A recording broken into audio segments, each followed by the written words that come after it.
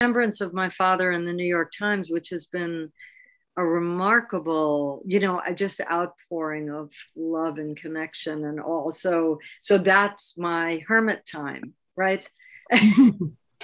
Actually, illumination from the beyond and illumination in that. Well, I I keep telling people I've been in and out of the astral realms, right? It's just get your Eurail pass. Your yeah. astral. Your astral. My pass. astral. My astral pass. Yeah. okay, we got four people aboard here, and we're good. Hey. We're we're rocking. Find my book. And uh, you know the the sessions that we have been doing here, and the sessions that we that Jordan and I have been doing mm. on Sunday morning have been getting something like 270 um,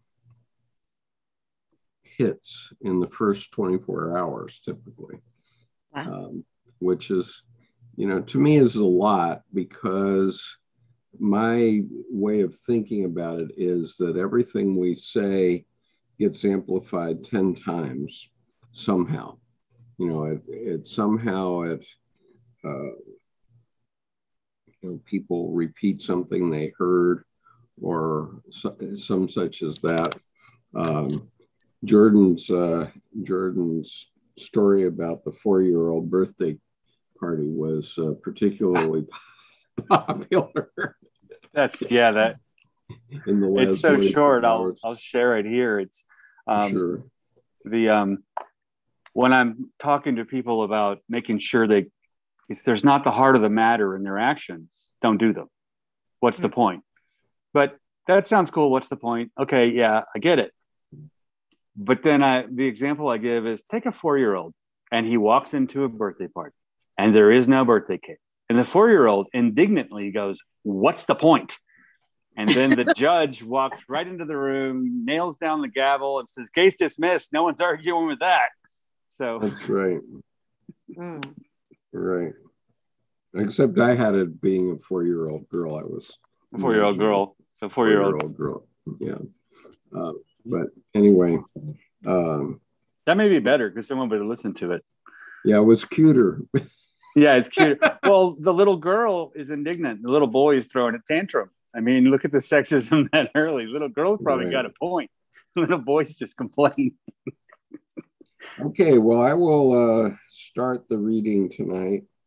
Um, it's a one page paragraph, so we'll have to figure out what the essence of this paragraph is. Well, we'll ask what's the point at the end. yeah, what's the point? Where's the birthday cake in the paragraph? Yeah, well, and the, and the point is that that Jung wrote very long paragraphs because he wanted to get a whole idea into one paragraph. He did mm-hmm. it like like a, a fruit cake or something, and uh, at least so so said Edinger. So anyway, I will read it. Soliloquy of the idea. Paragraph. I will read it, paragraph. And, and we will hear from Nick on what he thinks because this is one of his favorite people, I think, that we're talking about tonight. So Okay, chapter, or I'm sorry, paragraph 111 of um, two essays on analytical psychology. And uh, Jordan, are you seeing that in the right direction? I'm seeing a mirror image, but I. No, I'm seeing it in the right direction. It's the right okay. direction, yeah. You're you're yeah. backwards, but yeah, I definitely am. Okay, so. And I bought this version of it, so I can. Oh, cool think we oh, All right. Okay, good. um, I liked that you had the previous version though originally because it showed us really how he would not be afraid of evolving the text when it has a successive publication. Yes, but it was very frustrating for me to follow because I the the literature was different. The lang, you know, the whole thing was different. And I couldn't follow along. Yeah. So I'm so glad that I figured this out. And I bought it as a used book. So it was very inexpensive. Yeah. Good. Good. That's that's yeah. I'm amazed like at it. how how how high up there they are. I mean, some of them at 80 even. Um, yeah. I thought that the different text was a matter of uh, translation. I thought it was a different translation. Well, what I said when I was, we were talking about shadow, and my index didn't have anything to do with shadow. oh, yeah, that's right. Yeah. So, and um, Skip said that there was a whole bunch of material about shadow. Yeah. So I thought I'm I'm missing something here. Yeah, that's right. I'm thinking of another another book that I was reading. I uh, it was another one of Jung's collected works, but somebody else in the group had a completely different translation, and like the meaning was the same behind the paragraphs, but the wording was I mean, it almost sounded like a completely different book. Yes. You arrived at the same place, but how you get there was a completely different route. Well, I don't know if we're on fire, but I hope not. Anyway, um, okay, there is um, a footnote here, uh, which I will read to you. However, I cannot find it in the text. And so hopefully I will find it in the text. And it's footnote 13. This sentence was written during the First World War. I have left let it stand in its original form because it contains a truth which has been confirmed more than once in the course of history. This was written, that, that part was written in 1925. As present events show, the confirmation did not have to wait very long. Who wants this blind destruction? But we all help the demon to our last gasp.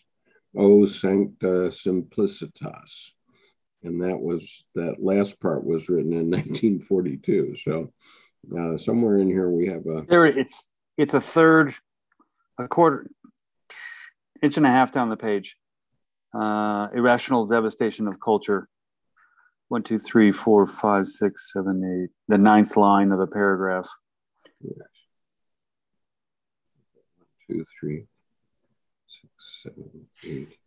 No. Right over I, on the left. I see it. Uh, yeah, I even actually I haven't even marked it FN for footnote. Okay.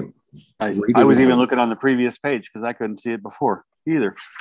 Okay, so we may come back to this footnote, but for now, which changed over quite a period of time, it seems.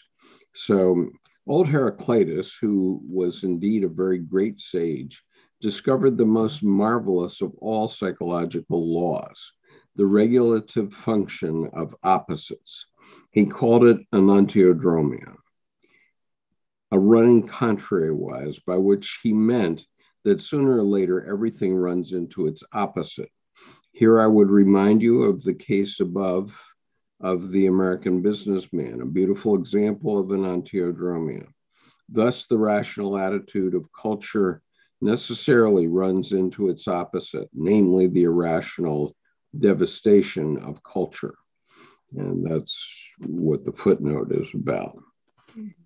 Um, we should never identify ourselves with reason, for man is not and never will be a creature of reason alone, a fact to be noted by all pedantic culture mongers.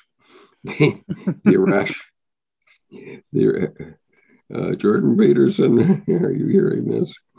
Um, the irrational cannot be and must not be extirpated. The gods cannot and must not die. I said just now that there seems to be something, a kind of super, superior power in the human psyche, and that if this is not the idea of God, then it is the belly. Interesting.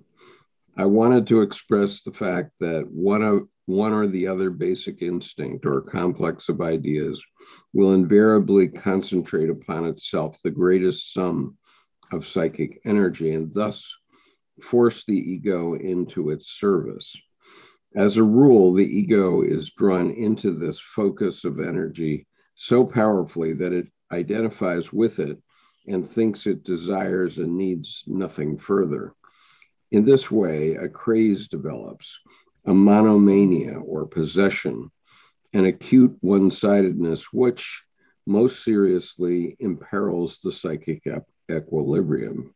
Without doubt, the capacity for such one sidedness is the secret of success of, of, of a sort, for which reason our civilization assiduously strives to foster it.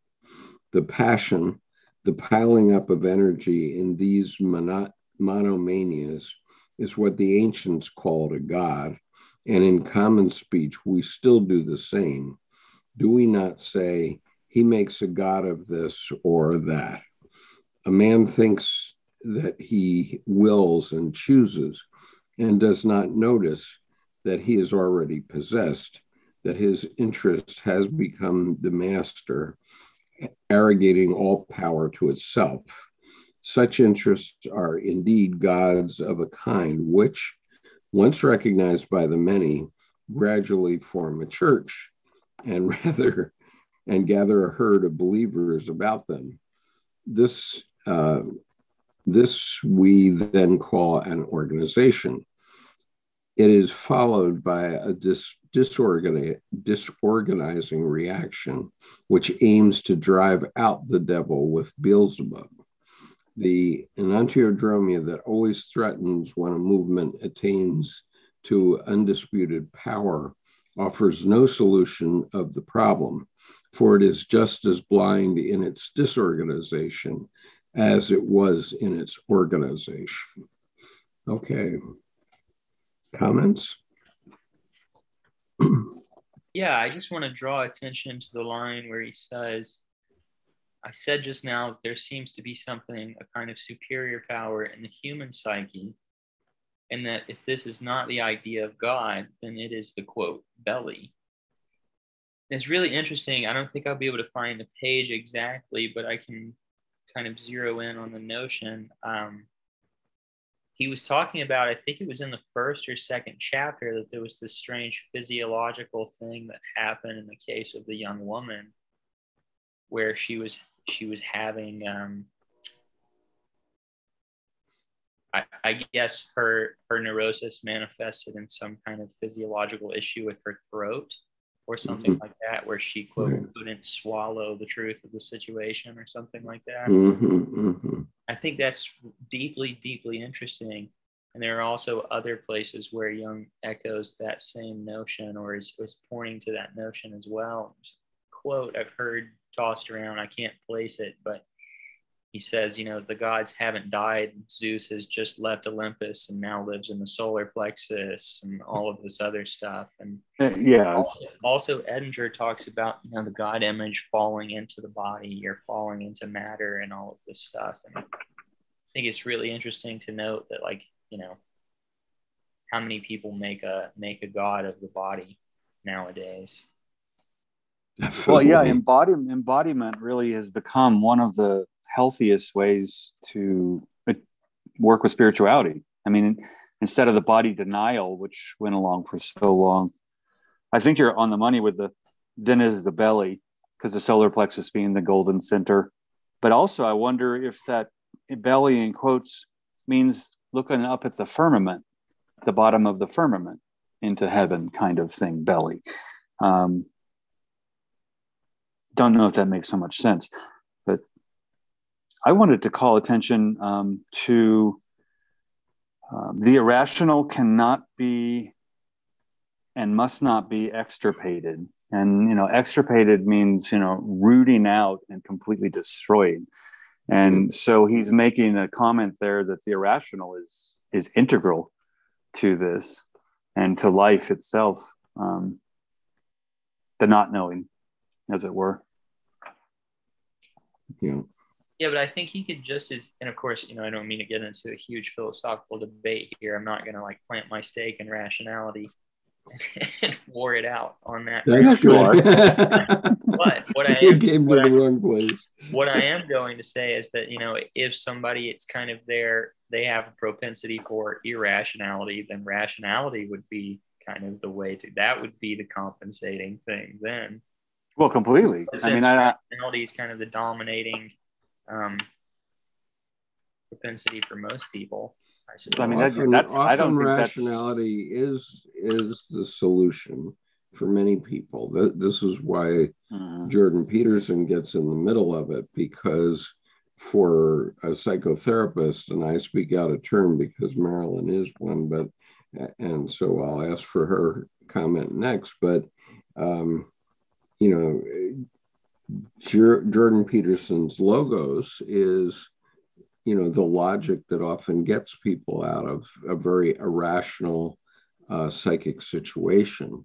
And uh, a doctor properly trained i think can can guide someone out of a very irrational situation that's causing them much harm um, yeah, but if, if, Jordan Peterson has the appeal that he does to so many people because he presents a rational road out of irrationality, that can only mean that we're not as rational and as advanced and as advanced as we would like to think we are. Of course, and that's very clear in his following.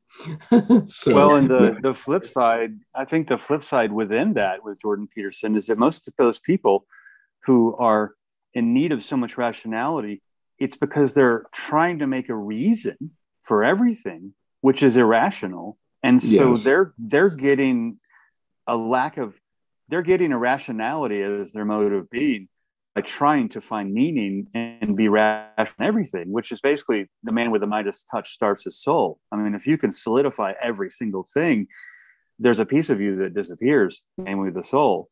And yes. that, that then drives people nuts. You know, we're all crazy, but nuts is different.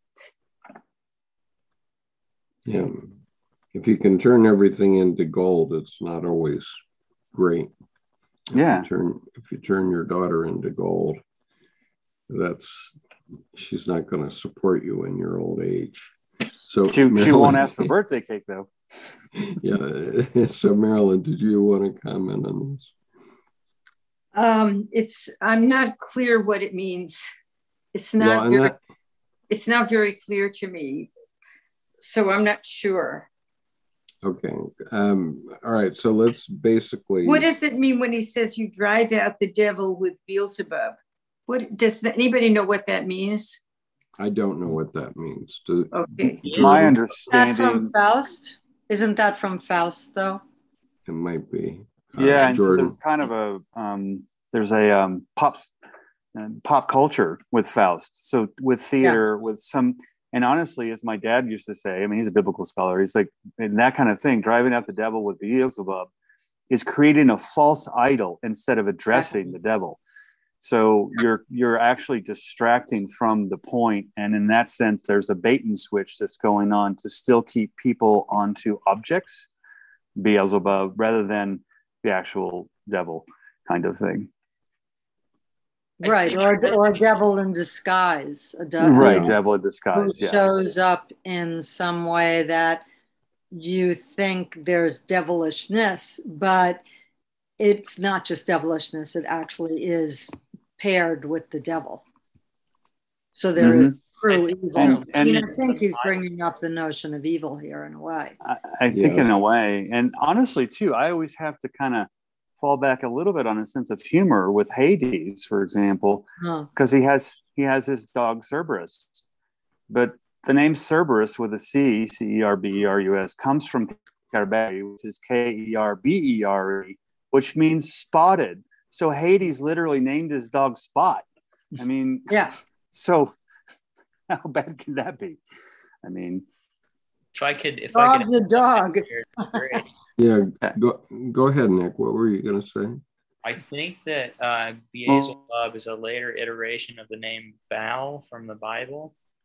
And, mm. um, you know, Baal was a way of, of kind of rooting out the, the evil in your neighbors, of saying, you know, they're worshippers of Baal. They create false idols of pagan gods.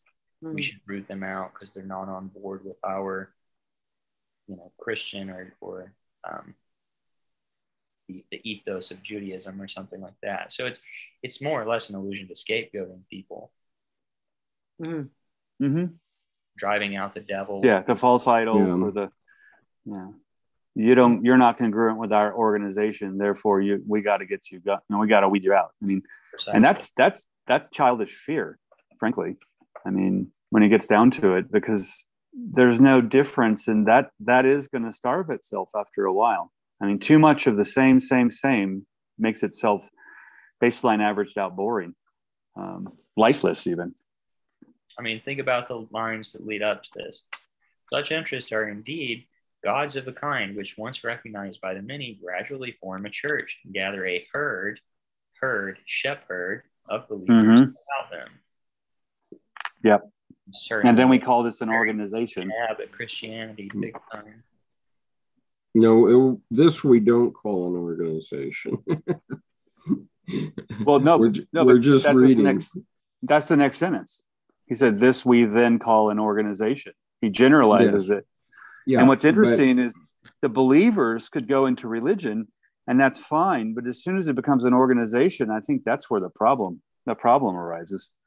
Um, because then organizations have bylaws and rules and well here we go catechism and commandments and and leaders. And leaders yeah. Mm. like nick said shepherd there's a herd well who's the shepherd? I mean that that was good that you added that shep in front of the herd there. Well, the, what struck me about this when it said organization, I got caught up in that word because I work for a very large organization in Silicon Valley, mm-hmm. and there was there was one leader that was kind of he was like the god, and everybody worshipped him, and it was really I was not involved. I was not a scientist. I wasn't in that group and I saw myself separate from it. And they seemed, there were some things they did that I saw that looked absolutely crazy to me. Mm-hmm. Like, for example, they all wanted to sit next to this one leader, and there was not physically enough space for, mm. for them to. They, they didn't have enough room because they all had each one had had their staff so it got so crowded. And I tried to point out to them if one more person comes in the organization, it's going to explode. And they all looked at me like I was crazy. And then that's what happened because mm. they were so tied to this one leader. Everybody physically wanted to be close to him. And that's what this struck me. So they saw him as a leader and he took that on. Oh, of course, I'm the leader. And then it it was it was um, it was self defeating, and mm-hmm. I, that's the sense I got from this. It becomes self defeating if you. Uh, maybe I'm taking it too literally, but that's what it felt like to me. That if you make this person be the ruler in the organization or whatever, you're doomed to fail. Well, I, I think that's right on, Marilyn. And I mean, it reminds me of Skip's story of the general who said, Oh, there go my people. I must follow them that's the exact opposite of it there that's exactly right that's exactly thank you yeah that's that's a great call there because um, they're actually that much density around his flame is going to snuff him out and it's gone i mean it gets too much around it and it gets constrained and incarcerated and then he becomes brittle because then if he changes that upsets them. I mean, in a way, it, it decreases. I find it makes the system brittle. Um, you know, less able to be flexible to adapt as it moves along. That's it was totally inflexible. Yeah. And I and I wonder if that's what he's referring to. It becomes inflexible. It's not workable. Yeah, yeah. And the, it, when he says it's followed by the disorganizing reaction, I always love it when in philosophy in college we start talking about anarchy, and someone would inevitably bring up, "Yeah, yeah, yeah, we always have anarchy," and then they win, and then they go, "Oh, now what?" And what do they do? They have to put a government in place. So it's it's a kind of anarchy to me is oftentimes um, in that sense that kind of example, just at a greater scale that basically puts itself out because for example revolution say look at france has a point change occurs. But with anarchy it's just overthrow and then there's a vacuum. And then the same system only has the same decades and centuries long habits. So what is it going to do? It naturally begins to fill back in the same system before with just different suspects and different names. You guys okay if I read the next chapter? Yeah, yeah. go go ahead. Okay.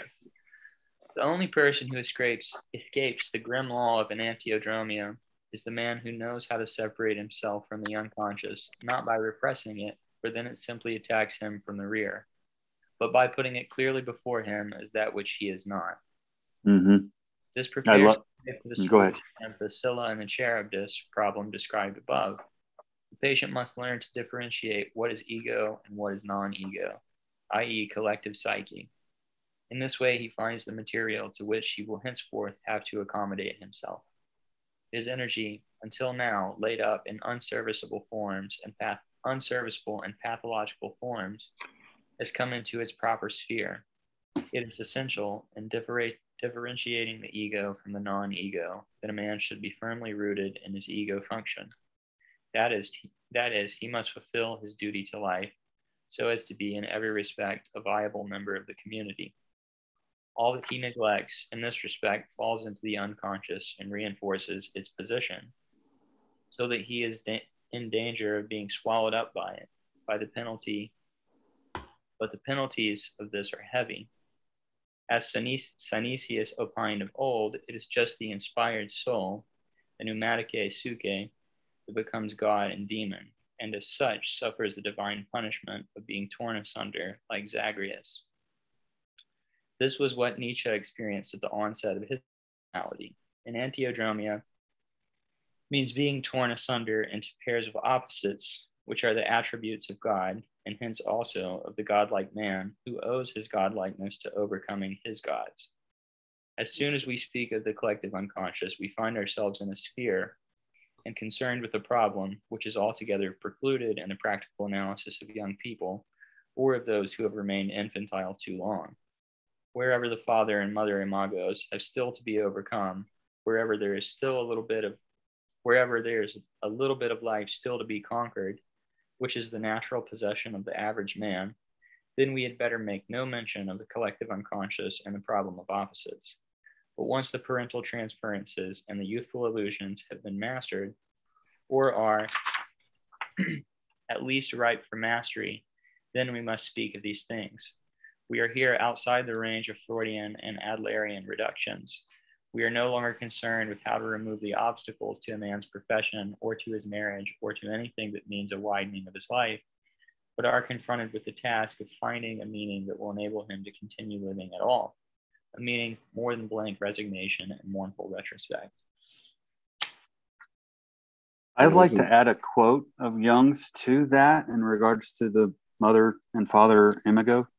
Um, it comes from Man and His Symbols, and I don't have a page citation or paragraph, but I just came across one of my platforms this morning. Um, Jung says once the individual has passed his initial test and can enter into the mature phase of life, the hero myth loses its relevance. The hero's symbolic death becomes, as it were, the achievement of that maturity. And so all about the rites of passage there, where you know ready the transference has occurred.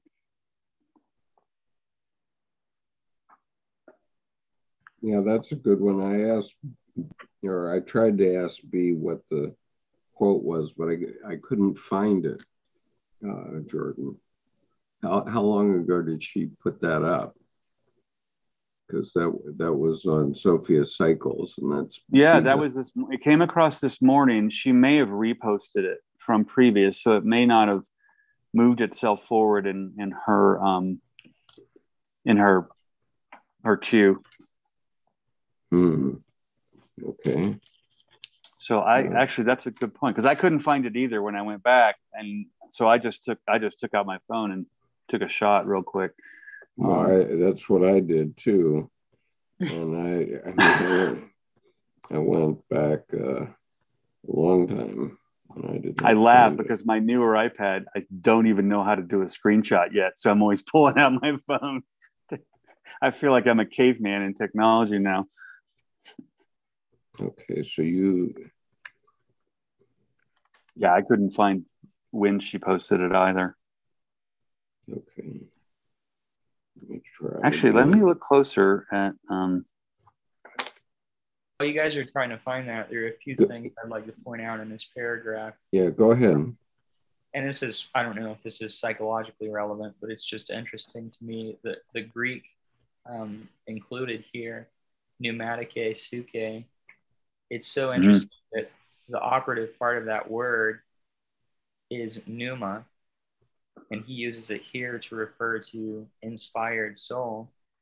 I know that we've thrown around that word a lot in the past. It certainly gets used a lot in Jung's work, but it's just interesting that it also applies to words like inspired and stuff like that. And it takes on certainly much more of a connotative meaning when used in the Greek. Um, it does. And tell me, tell me about the suke part, because um, that was I got the pneumatica right off the bat, and then I, I see the psi, and I went through, and I, I went, I haven't seen that. So tell me about the suke part of the pneumatica suke. What do you mean? What about it? I mean, is it it kind of homonymal homonymal for psyche? I mean, right? Yeah, I mean the uh, yeah the Y is pronounced more like a U in mm-hmm. So so physis, where we get physics or physical, is is phusis or okay psyche. so we basically have it it's synonymous with psyche in a way. Right yes yes. Yeah. But yeah, okay. yeah, in greek is pronounced suke. Yeah. Um yeah but then, then he goes on to talking about nietzsche and he does some really really great wordplay here where he says um let's see here man who enantiodromia means being torn asunder into pairs of opposites, which are the attributes of the God, and hence also of the godlike man, or the, the Ubermensch, from mm-hmm. the Superman, who owes godlikeness to overcoming his gods. And it's so interesting that, okay, so in the first place, right when Nietzsche got really ill, he started writing letters and he signed all of his letters either Dionysus uh-huh. the one who inspires people being torn apart completely, dismembered, mm-hmm. or the crucified one, or Christ, and all of these strange things. He was just being utterly torn apart himself. Mm-hmm. But also his whole theme, and thus thus spoke Zarathustra, is going down. And somewhere mm-hmm. in that he says, I cannot help but to love man for whom life is nothing but a going down and a going across. Yeah, and he referred to the down going with a capital D a bunch. Right. Yeah, and it had nothing to do with overcoming anything for him. It had to do with going into and coming off the mountain and all of this strange stuff. So it's just a very, very masterful uh, use of use of language there. Well, and actually, I think Annabelle started off started us off with that with the hermit because the hermit is a consummate downgoing card. It's a going. It's not necessarily down like scuba diving it's down being within, going down into the creative wellspring of the unconscious. And that hermit is that is a, a visual metaphor of that process. Well, and the hermit also is at the peak. And I think that that, in a sense, embodies what we're talking about with these opposites. You can't mm. go all the way down unless you're all the way at the top. Um, that was one of the things in my studying that card this week has been um, no one gets so high on those snowy peaks as the hermit does. Well, that's yeah, and that goes right along with Jung's quote that says, um, "A tree cannot grow to heaven unless its roots reach to hell." And uh, honestly, psychologically, structurally, architecturally, that makes sense from just a cantilever. If you mm. go, t- there's the Daedalus Icarus piece. If you go too high, you don't have the roots of properly attached feathers. So you fall. You're overextended, like a cantilever that's gone too far. Whereas Icarus goes up and goes down, but he loses his sun, so it's a different down. But there's a that overextension cantilever, like you said, of you can't go that deep until you've been that high, or you can't go that high until you yeah. have those depths. Yeah, in Buddhism, there's the lotus, which also is the same thing that the roots have to go, well, not go, they have to start from so deep into sediment and um, you know, kind of questionable spaces down below in order to achieve that radiance and brightness and enlightenment above. So yeah, I, I remember on on any team when you know everything just went to heck. I mean, just boom, and someone's like, "Well, Jordan, what are we going to do?" Well, we're going to grow a lotus out of this mud.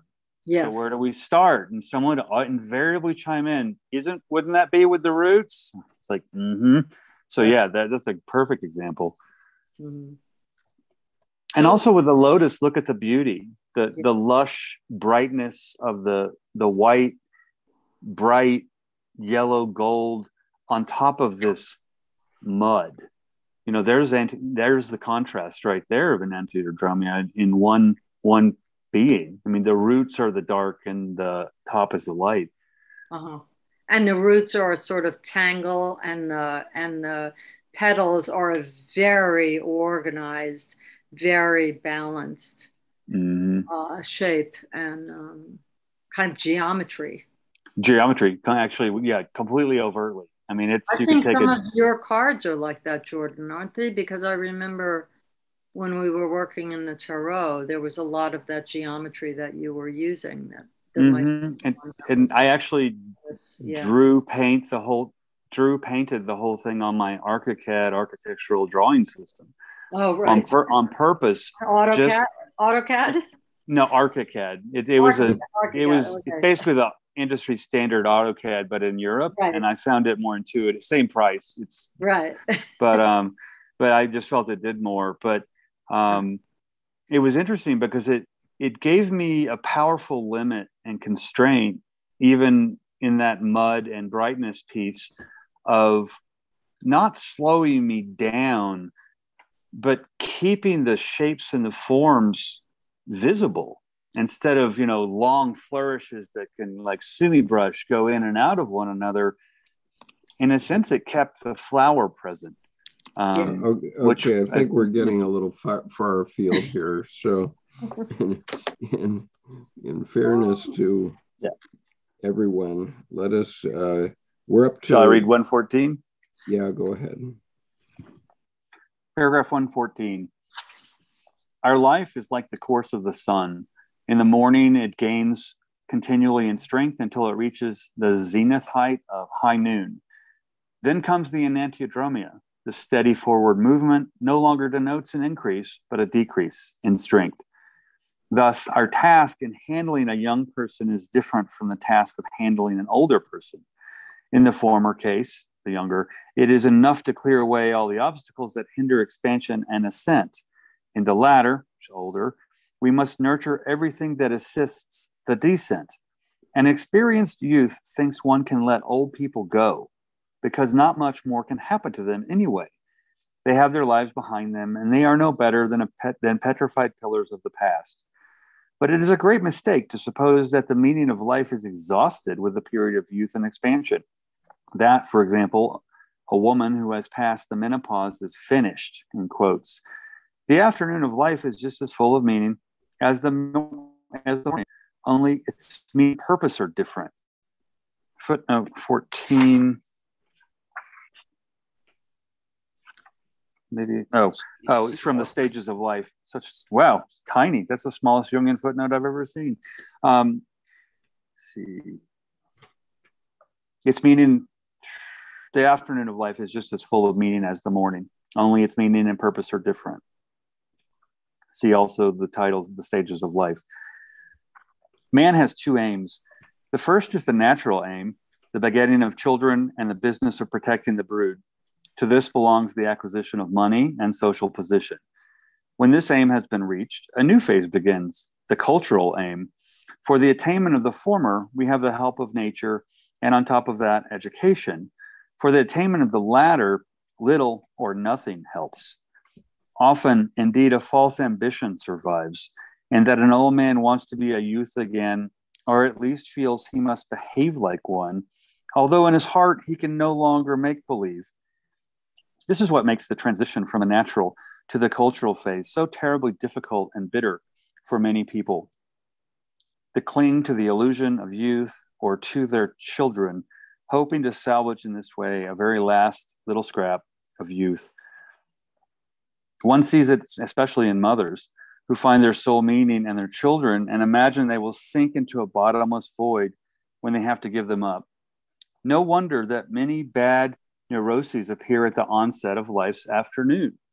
It is a sort of second puberty, another storm and stress period, not infrequently accompanied by tempests of passion, the dangerous age, in quotes. But the problems that crop up at this age are no longer to be solved by the old recipes. The hand of this clock cannot be put back. What youth found and must find outside, the man of life's afternoon must find within himself. Here we face new problems, which often cause the doctor no light headache.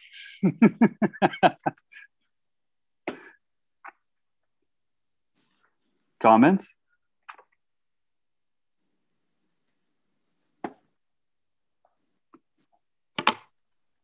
Well, it's no light headache.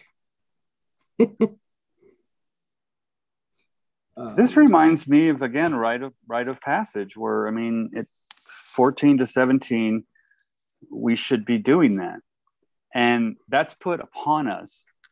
But then at 27 and 42, it's our job to put them upon us ourselves.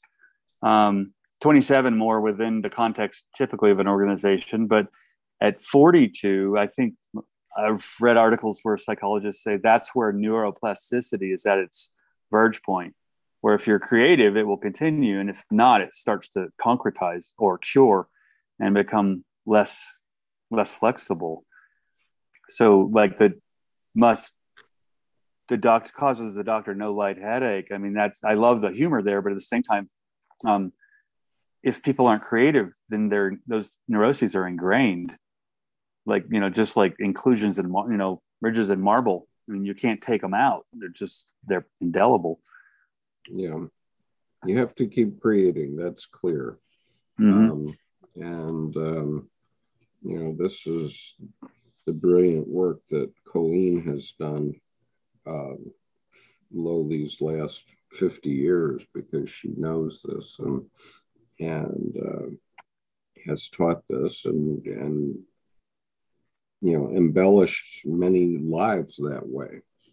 Um, you know i would every time if, if i think about colleen colleen's excuse me colleen's mode of being it always reminds me of the turkish proverb that's a heart in love with beauty never grows old and you know that's that's a self life affirming heart there going on continuing reinventing replenishing refueling itself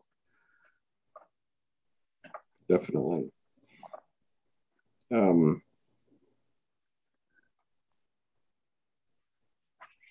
well, I I think that it's fair to say, and I have a I have a dog in this fight uh, that you know you can come up with something that's of value to culture and society at any age, and um, mm-hmm. you know this this YouTube channel is a, is an example of that. mm-hmm. You know, because people are paying attention to it for whatever reason. So, anyway, uh, let's well, let's go on.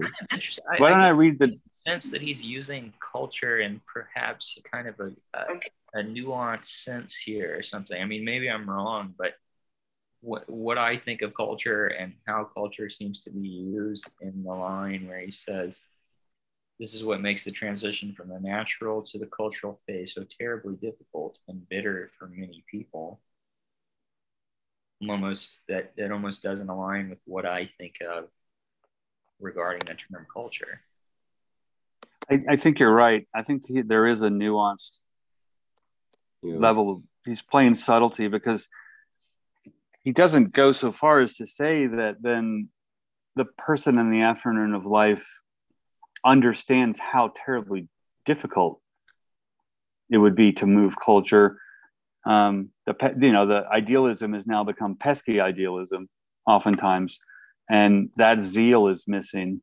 Um, but he doesn't go in. I think you're right. He's being rare, very nuanced because he doesn't actually go into the finer grain of of the of the what's and the whys of just that word culture there it, it implies a larger scale, um, but at what scale is he insinuating culture? Would be a question.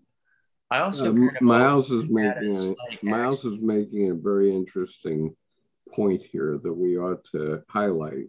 He says enantiodromia in 1977 Canary Islands, a KLM Boeing 747 collides into a Pan Am Boeing 747. In an instant, the epitome of rational order and complexity is converted into irrational disorder and demolition. That's enantiodromia for sure.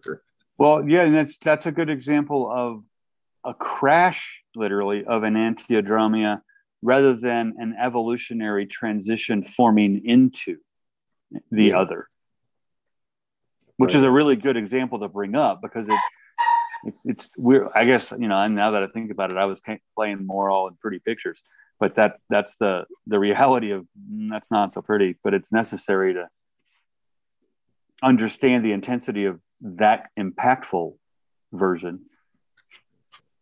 So uh, let's go on. Uh, yeah, let's read the next wanna... paragraph because he he extends this here. It's I may have. Shall I read that next? Um, 115. 115. The yep. transition from morning to afternoon means a revaluation of the earlier values there comes the urgent need to appreciate the value of the opposite of our former ideals, to perceive the error in our former convictions, to recognize the untruth in our former truth, and to feel how much antagonism and even hatred lay in what until now had passed for love not a few of those who are drawn into the conflict of opposites jettison everything that had previously seemed to them good and worth striving for. They try to live in complete opposition to their former ego. Changes of profession, divorces, religious convulsions, apostasies of every description are the symptoms of this swing over to the opposite. The snag about a radical conversion into one's opposite is that one's former life suffers repression and thus produces just as unbalanced a state as existed before, when the counterparts of the unconscious virtues and values were still repressed and unconscious. Just as before, perhaps neurotic disorders arose because the opposing fantasies were unconscious. So now other disorders arise through the repression of former idols. It is, of course, a fundamental mistake to imagine that when we see the non value in a value or the untruth in a truth, the value or the truth ceases to exist. It has only become relative. Everything human is relative because everything rests on an inner polarity, for everything is a phenomenon of energy. Energy necessarily depends on a pre existing polarity, without which there could be no energy. There must always be high and low, hot and cold, etc., so that the equilibrating, equilibrating process, which is energy, can take place. Therefore, the tendency to deny all previous values in favor of their opposite is just as much of an exaggeration as the earlier one sidedness. And insofar as it is a question of rejecting universally accepted and indubitable values, the result is a fatal loss. One who acts in this way empties himself out with his values, as Nietzsche has already said. Hmm. I just want to point out the line here where he says, uh, disorders arise through the repression of former idols. Yeah. So just double back to say that. That jumped. That jumped out at me too because he was using the word idols in the middle of not talking about anything that seemed to be related to idolatry or the gods that he had been speaking it's a, about. It's a reference back to Beelzebub ah, and yeah. because they're exactly. Mm-hmm. the yeah. yeah. Yeah, it's the you guys got to let that gotta, in there. Yeah, it's like you guys got to let go of that stuff. He's saying, you know. Yeah. So, what year was Einstein's theory of relativity, and what what year was this? It's an interesting. About 1915 for both. 13, 15? Yeah. yeah. 1915. Yeah. 1914. So there you go. So that's yeah, a Eureka moment, then, right? I mean, yeah, uh, there's a collective unconscious moment going on there between the two. Right. Theory of relativity and a phenomenon of energy. And energy necessarily depends on pre-existing polarity. That sounds like Einstein. Einstein. And then Einstein famously right after that said, um, the other definition of insanity is trying to trying to get new results following the same yeah. processes. I mean, it's like yeah. Einstein and Jung knew one another, and apparently, um, Jung also treated Einstein's son. Huh. Really? Thanks. Yep, for a short period of time. Was that in, in uh, Küsnacht or Zurich or somewhere? Was that? Yeah, I yeah. think they were both professors at the uh, Zurich Polytechnical Institute. Sweet. Right around the same time. That's you know what's interesting is then you take that and then you take um, uh, whose daughter, um, not T.S. Eliot, um, who wrote Ulysses. Um, James Joyce. Yeah, James Joyce's daughter. So take these high and mighty creatives, Joyce and Create and Einstein, and look at the shadow they drown in trying to walk out of the parental imago. Yeah. I mean, there's a piece of the greater your parents are, the you know, the harder it is to, you know, it's I it's like, wow, I'm so glad you finally walked out of that shadow. That was a big one. So if I look at Joyce and Einstein too, that's there's something interesting in terms of patient treatment. He's treating the the high and mighty creative's offspring, their children. well, just today, coincidentally, as we say in the normal world or not in the astral realm. I was reading some Alice in Wonderland, as I do very frequently, and I was reading what I usually read is my Martin Gardner annotated, and I happened upon the intro, the uh, epigraph to his introduction, Martin Gardner's introduction, which is quote, "Wipe your glosses." with what you know a quote from James Joyce. Mm. Mm-hmm. And Did you read that again? Yeah, please. Wipe your glosses with what you know. Mm. James. So a, a, gloss in this case is something that you kind of believe, I think. Mm-hmm. Well, yeah, and it's related to the word glossary. I think mm. very much so because Lewis Carroll was so much involved with playing with words and the meanings of words and recreating them and naming things so that they had various uh, subtle meanings. Anyway, um, well, yeah, he had so many of my day today. yeah, there's yeah, and so many of Lewis Carroll's just word choices. There'd be a whole subtle nuance crossroad in that word. Exactly. I mean, well, and that's what Martin it, Gardner was doing. He was taking the whole thing apart and putting it back together again from the viewpoint of essentially Western civilization from a Victorian England uh, Victorian English day to day practical point of view, right? Yeah, and if we Father William, I mean, all that stuff. Yeah. If we stay on the Lewis Carroll theme to keep to their rationality and irrationality, exactly. I mean, one of Lewis Carroll's famous quotes was, "It's very important to your health to try and believe several important, several impossible things before breakfast each morning." So there's there's bringing the irrationality in with your cereal or your coffee before you go into the rational day that's right. that's a, he's doing the enantiodromia just in the course of a day exactly and and we have what we have in this conversation right now is einstein's kind of supposedly rational scientific approach butting right up against nonsense of Lewis Carroll and Finnegans Wake and all the rest of the nonsense of, you know. Well, and it's funny with the nonsense. I mm-hmm. last year at one point I reread reread Finnegans Wake. Yeah. And fun. and I reread Ulysses and I finally you know got, how to have a good time. yeah, you know, take a field trip and but I did it because something came came to me. My English teacher in high school mm. would always she'd always say, you know, best laid plans of mice and men, gang after glay, you know, and that means often go awry. And I, I, I always said, I don't think it needs to be translated. And she right. would say, why? And I said, no, I don't know, but I, yeah. but I know. Yeah. And last year it came to me that if I just speak like I have an Irish accent and, and maybe a few Guinness in me, then it's not gang after get a glay. It's gone off the ugly.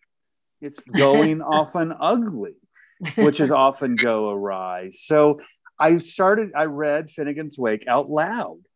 Oh, and right. it's as if he wrote it phonetically with the accents of the people on the street and in the bars. And it, it's, it, it was interesting to me because it, it didn't make any more sense, but I could understand okay. the words. So, so let's come back to an Andreodrome now. just, we just had just, a little. just trying to, just trying to stay grounded a little bit. So, uh, do you want to do 116, Nick? Sure. Marilyn, do you have the book and would you like to read? Okay. the point is not conversion into the opposite, but conversion of previous values together with the recognition of their opposites. Naturally, this means conflict and self division. It is understandable enough that one should shrink from it philosophically as well as morally.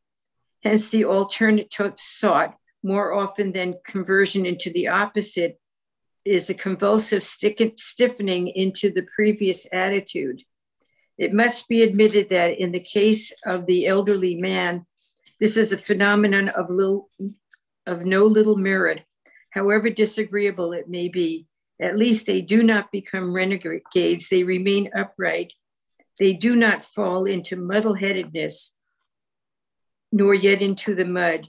They are no defaulters, but are merely dead wood, or to put it more rigidly, pillars of the past but the accompanying symptoms, the rigidity, the narrow mindedness, the standoffishness of these laudatores temporis acti are unpleasantness are unpleasant, not to say harmful. For their method of espousing a truth or any other value is so inflexible and violent that their unmannerliness repels more than the truth attracts so that the result is the opposite of the intended good. The fund- fundamental cause of their rigidity is the fear of the problem of opposites. They have a foreboding and secret dread of the sinister brother of Medardus. Therefore, there must be only one truth and one guiding principle of action, and that must be absolute. Otherwise, it affords no protection against the impending disaster, which is sensed everywhere, save in themselves. But actually, the most dangerous revolutionary is within ourselves, and all must realize this is who uh, wish to pass over safely into the second half of life. Certainly, this means exchanging the apparent security we have so far enjoyed for a condition of un- insecurity or internal division of contradictory conviction. The worst feature of all is that there appears to be no way out of this condition. Tertium non datur, says logic. There is no middle way. And boy, mm-hmm. does that ring true. Um, I've seen a lot of people as they've gotten older so clinging to what they believe, they can't see beyond it and it's mm-hmm. very very difficult for them um, to see into into the same world that everybody else is moving forward into, and mm-hmm. it can become quite, quite tragic. But the Titanic sank, and they claimed to the ship instead of the lifeboat. That's right. I have yeah, seen, that does. Pardon me. Rings so true. It's just, that rings so true. I'm, yeah, keep going. But well, I've seen it. Um, I've seen where people they they can't be with technology or they don't understand what's happening with the being vaccinated. They're just stuck in their way of thinking, and um, so maybe it served them well when they were younger. And I wonder if this is what he's trying to say, or this is what he's mm-hmm. saying. It served them well, but because it served them well, they stay with it and then they can't move forward out of it because they're trapped into what served them well at one time. You know, and I wonder if they, like a snake, shed their skin but stay in that dead skin so that they get further and further inside, encased in all these dead layers that don't work anymore because of just the, the fear of letting go. And and I've seen the opposite. I've seen some people who are quite elderly who are well, I don't want to say Colleen, she's not elderly, she's of no age, but people who are of an age and they um, they just move forward. Nothing stops them. They just keep moving. I just heard about this today. In fact, um, someone asked this elderly man um, if, if he what he what channels he watches on TV or if he sees any movies that are good. And his comment was, I don't have time for that. I'm too busy. I have to finish what I've been trying to accomplish, which is he's writing books on physics. So he doesn't have time. He's moving forward. Mm-hmm. And to me, that is a beautiful example. It, but it I do, is. I do. I see people who become very rigid, and I see people who move forward. And um, it's amazing to me to see there's like no middle ground. Either they're one way or they're the other. I don't see much of a middle ground. You know, you know, it's interesting you say that. But the guy with physics, what a beautiful example. Last week here on the plaza, I was um, just took a break and I had a smoothie sitting over on a bench and and this this this older woman purple purple hair not because of a bad dye like this is she dyed it this way with some reds and some and and she was stylish she was wearing she you could tell was having so much fun with her life and i mean even her glasses i'm like i want those glasses and i don't even wear glasses i mean other than my reading glasses well, this little girl who maybe 10 or 12 walked up to her and she goes, You look awesome and you look eccentric. I can't wait to be your age so I can do that too. And I don't have to listen to my parents. And she said, She goes, Honey, you don't just all of a sudden turn 80 and get eccentric. This took 79 years of eccentricity practice. I suggest you start now. so you know and the, the girl's mom was right behind him going like you just created a problem because you know this woman had presence like nobody's business and she obviously knew how to dress but i just love that uh, of it you don't just wake up all of a sudden when you're older and you can be eccentric. She said this took decades of you know 79 years of eccentricity practice. It's true. and that's beautiful it's beautiful. She's she's fully alive you know? She walks by and she she looks over you know her light eyes have light. I mean she's she's present. That was true for my father till 101 wow. Nice yeah. I mean he um and in that previous paragraph the thing about the stages of life um my father was 70 when my daughter was born. So when when he died, she was 31. Um, but he didn't just kind of sit back and wait for the grandkids to sit around his chair and you know tell them old stories. He was out there discovering things. And and if she would come to visit he would plan out a whole program you know what they were going to do Nice. And um, and he taught a Bible class, and he, well, I think I've told this class that he was going for walks with Jesus. You know. Well, I have no doubt about new, that. Yeah, this was a new activity for him. Yeah, I mean, even. But that was his dream life and his waking life. You know, kind of the veil uh, became very thin, but it but it wasn't. Um, yeah, it wasn't a sort of law. I mean, I guess I was going to say a loss of sense. I guess we're in that realm of sense and nonsense here. That that he had this curiosity and um, vitality that allowed him to accept a lot of those, um, mm-hmm. you know, dream realities and just incorporate them in his waking realities. Yeah, without being a liminal liminal yeah. erosion of the boundaries at all, like Not in Parkinson's. All it, it's, it, it sounds like he was fully healthy and oh well we have some oh, this is some more carnival content this is let's use it exactly yeah, yeah. Go, go ahead nick um hmm. you know I, i'm just thinking about several things that you all have said in the past couple of minutes and and working that into some of my own thoughts as well and um you know it's interesting to think about the role that that a belief and opinion play versus knowing or knowledge.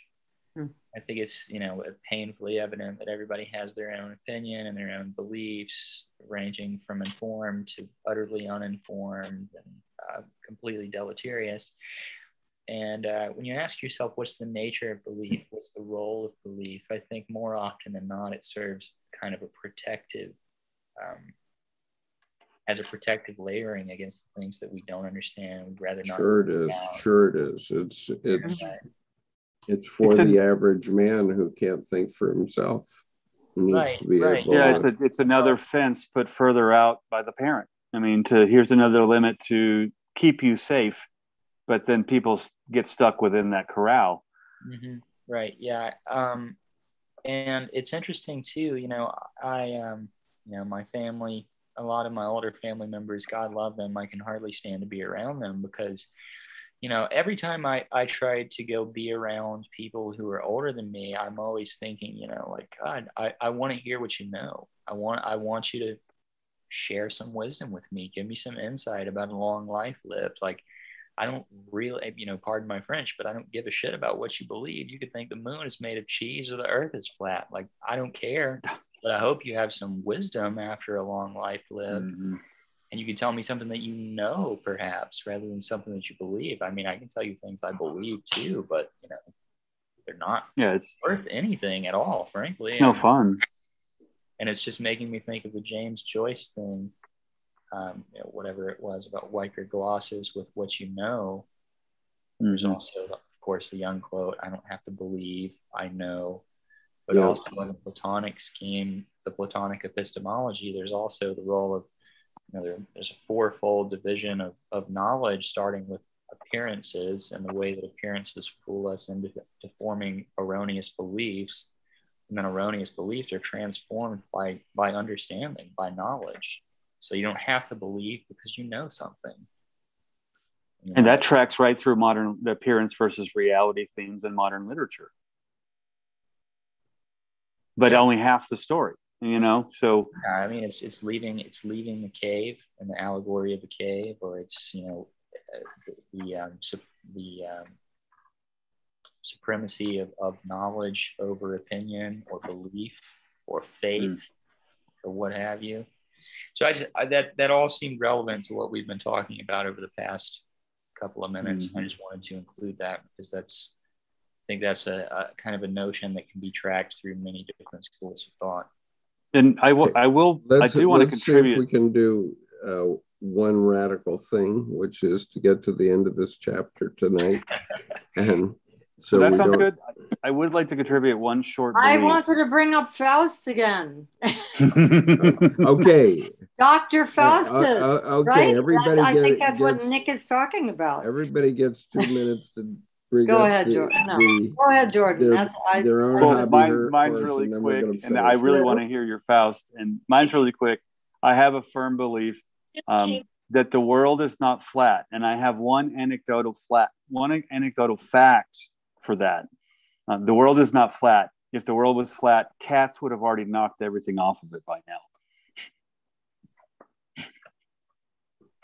okay, like the joke the joke fell flat. solid okay, proof. yeah, let's go for it.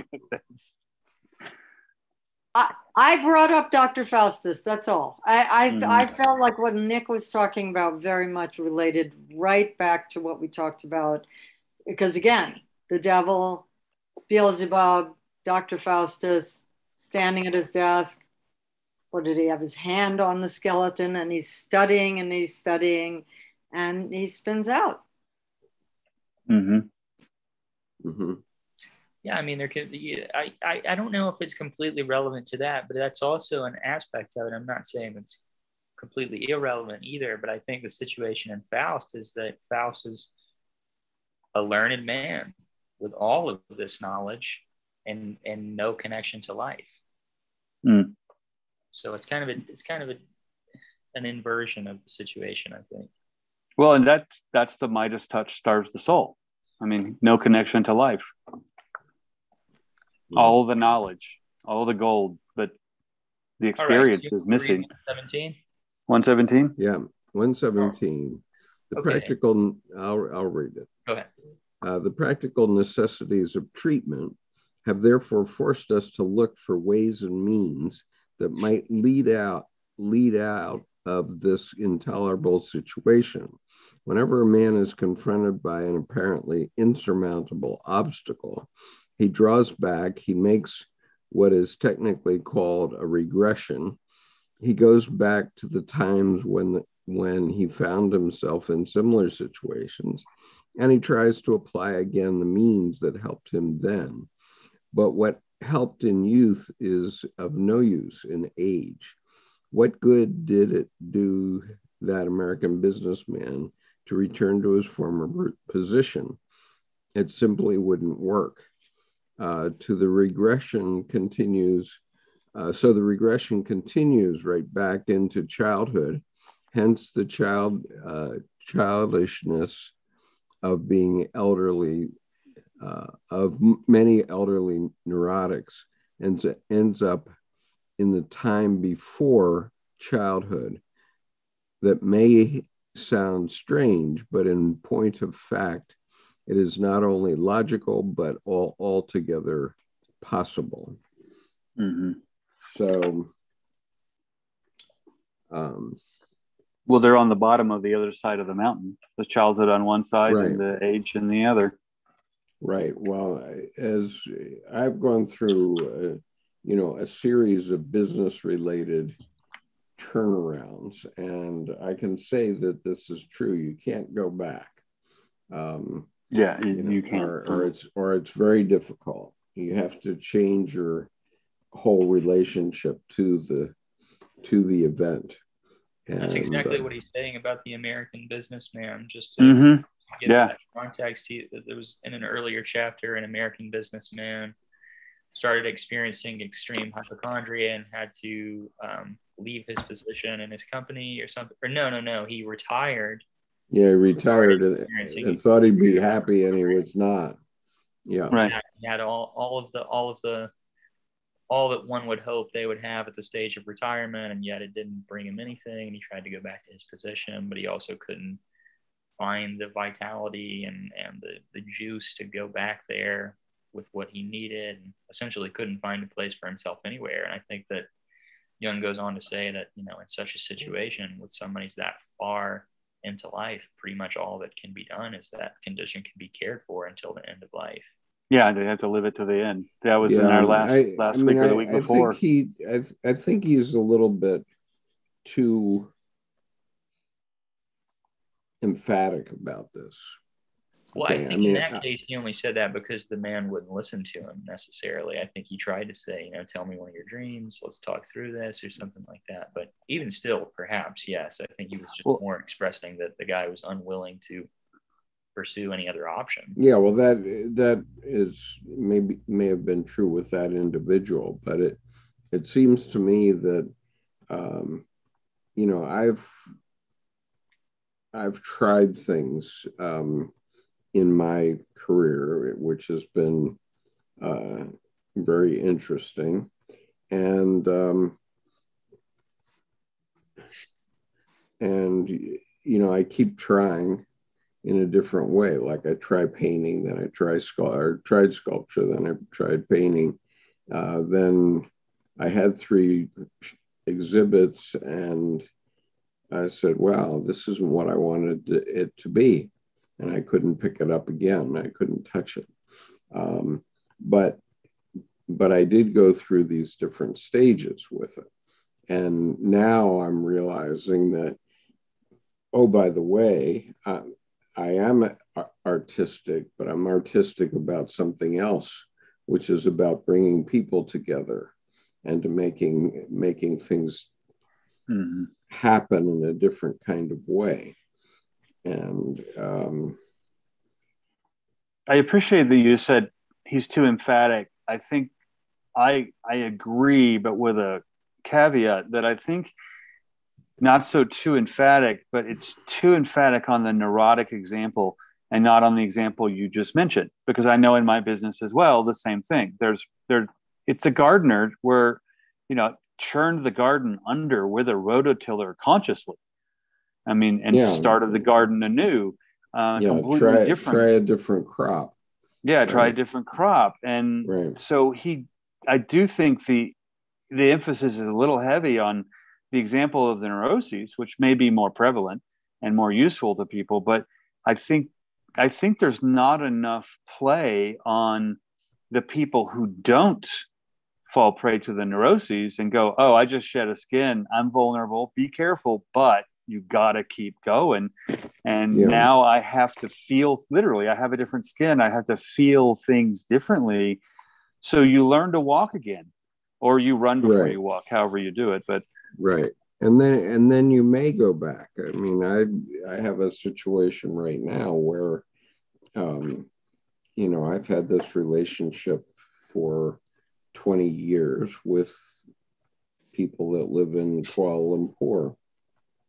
And it was, it went fallow for many years, or, you know, it went very um, not so active.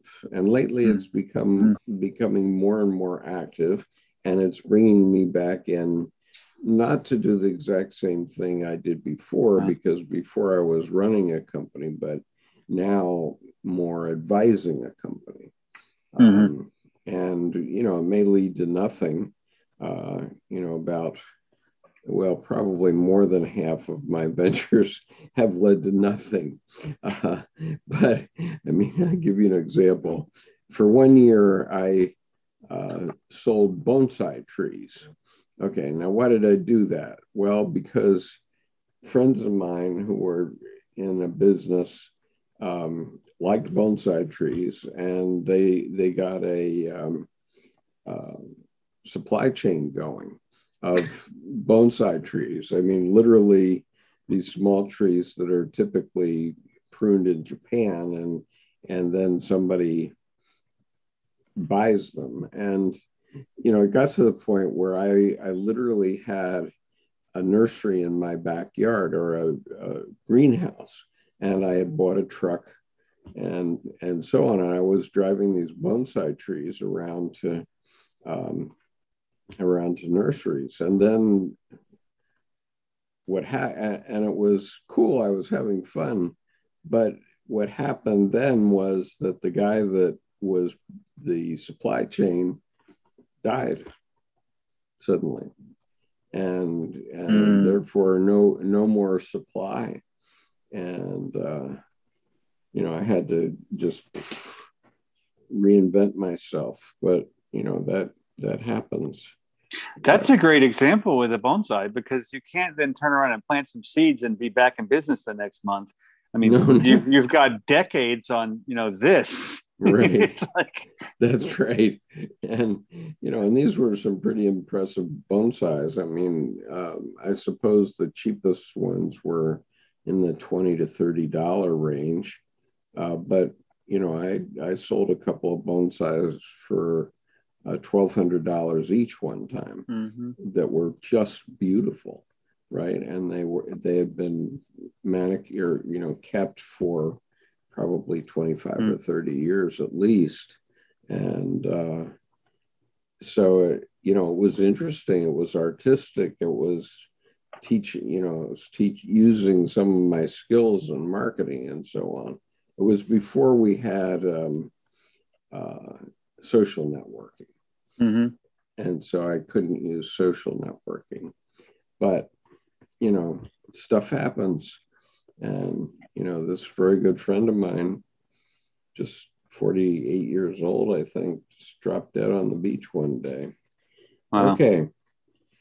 Um, go on to the next event is that that you know when you when that happens to you go on to the next event that's what you have to do do the next right thing. That's what it was right. sunday morning.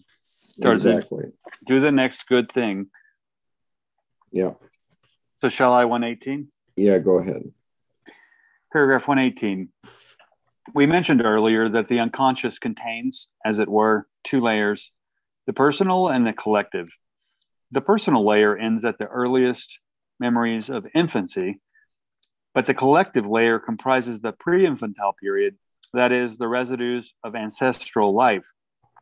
Whereas the memory images of the personal unconscious are, as it were, filled out because they are images personally experienced by the individual, the archetypes of the collective unconscious are not filled out because they are forms not personally experienced. When, on the other hand, psychic energy regresses, going beyond even the period of early infancy, and breaks into the legacy of ancestral life, the mythological images are awakened. These are the archetypes. And I'll read the footnote because it's lengthy and content laden. Footnote 15 the reader will note the admixture here of a new element in the idea of the archetypes not previously mentioned. This admixture is not a piece of unintentional obscurantism but a deliberate extension of the archetype by means of the karmic factor, which is so very important in Indian philosophy. The karma aspect is essential to a deeper understanding of the nature of an archetype. Without entering here into a closer description of this factor, I would like at least to mention its existence. I have been severely attacked by critics, critics for my idea of archetypes. I admit at once that it is a controversial idea and more than a little perplexing, but I have always wondered what sort of idea my critics would have used to characterize the empirical material in question. so, continuing, an interior spiritual world whose existence we never suspected opens out and displays contents which seem to stand in sharpest contrast to all our former ideas. These images are so intense that it is quite understandable why millions of cultivated persons should be taken in by theosophy and anthropos- anthroposophy or anthroposophy. This sim- happens simply because such modern Gnostic systems meet the need for expressing and formulating the wordless occurrences going on within ourselves better than any of the existing forms of Christianity, not accepting Catholicism.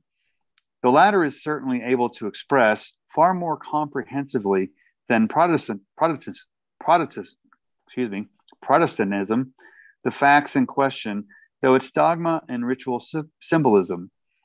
But neither in the past nor in the present has even Catholicism attained anything like the richness of the old pagan symbolism, which is why this symbolism persisted far into Christianity and then gradually went underground forming currents that from the early Middle Ages to modern times have never quite lost their vitality. To a large extent, they vanish from the surface, but changing their form, they come back again to compensate the one sidedness of our conscious mind with its modern orientation. References Paracelsus. Our consciousness is so saturated with Christianity, so utterly molded by it, that the unconscious counterposition can discover no foothold there for the simple reason that it seems too much the antithesis of our ruling ideas. The more one sidedly, rigidly, and absolutely the one position is held, the more aggressive, hostile, and incompatible will the other become. So that at first sight, there would see, seem to be little prospect of reconciling the two. But once the conscious mind admits at least the relative validity of all human opinion, then the opposition loses something of its irreconcilable character, expression.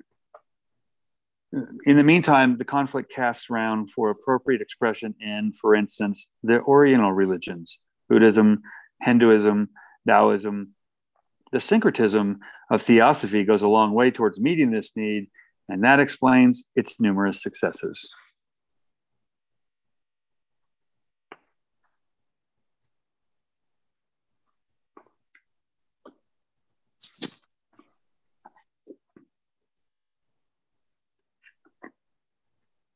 Yeah, it's really interesting that he adds the footnote because that kind of takes up the issue that I was um, talking about last week, where he was saying that essentially archetypes are created from external physical processes and uh, and then placed into the unconscious. Where it's, mm.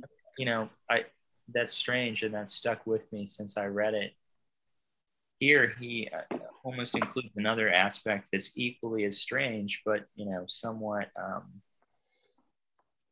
there's at least an, an internal working going on here, whereas before it's I've thought about why I find that so strange since we talked about it, and I still can't quite put my finger on it. But there's something about it that just doesn't.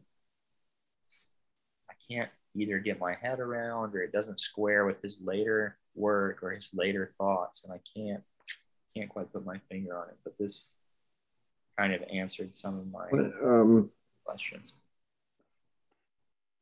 Okay, well, I I think of um, you know I think the addition of karma here is relevant um, because it um, it causes us to rethink where we're going right? When when something karmic happens, uh, for example, uh, when I broke my leg, for example, boy, not going to be be that anymore.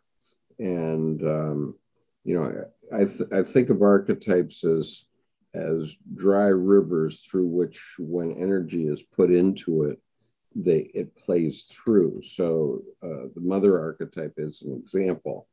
Um, but sometimes karma acts such that that that riverbed um, gets broken somehow.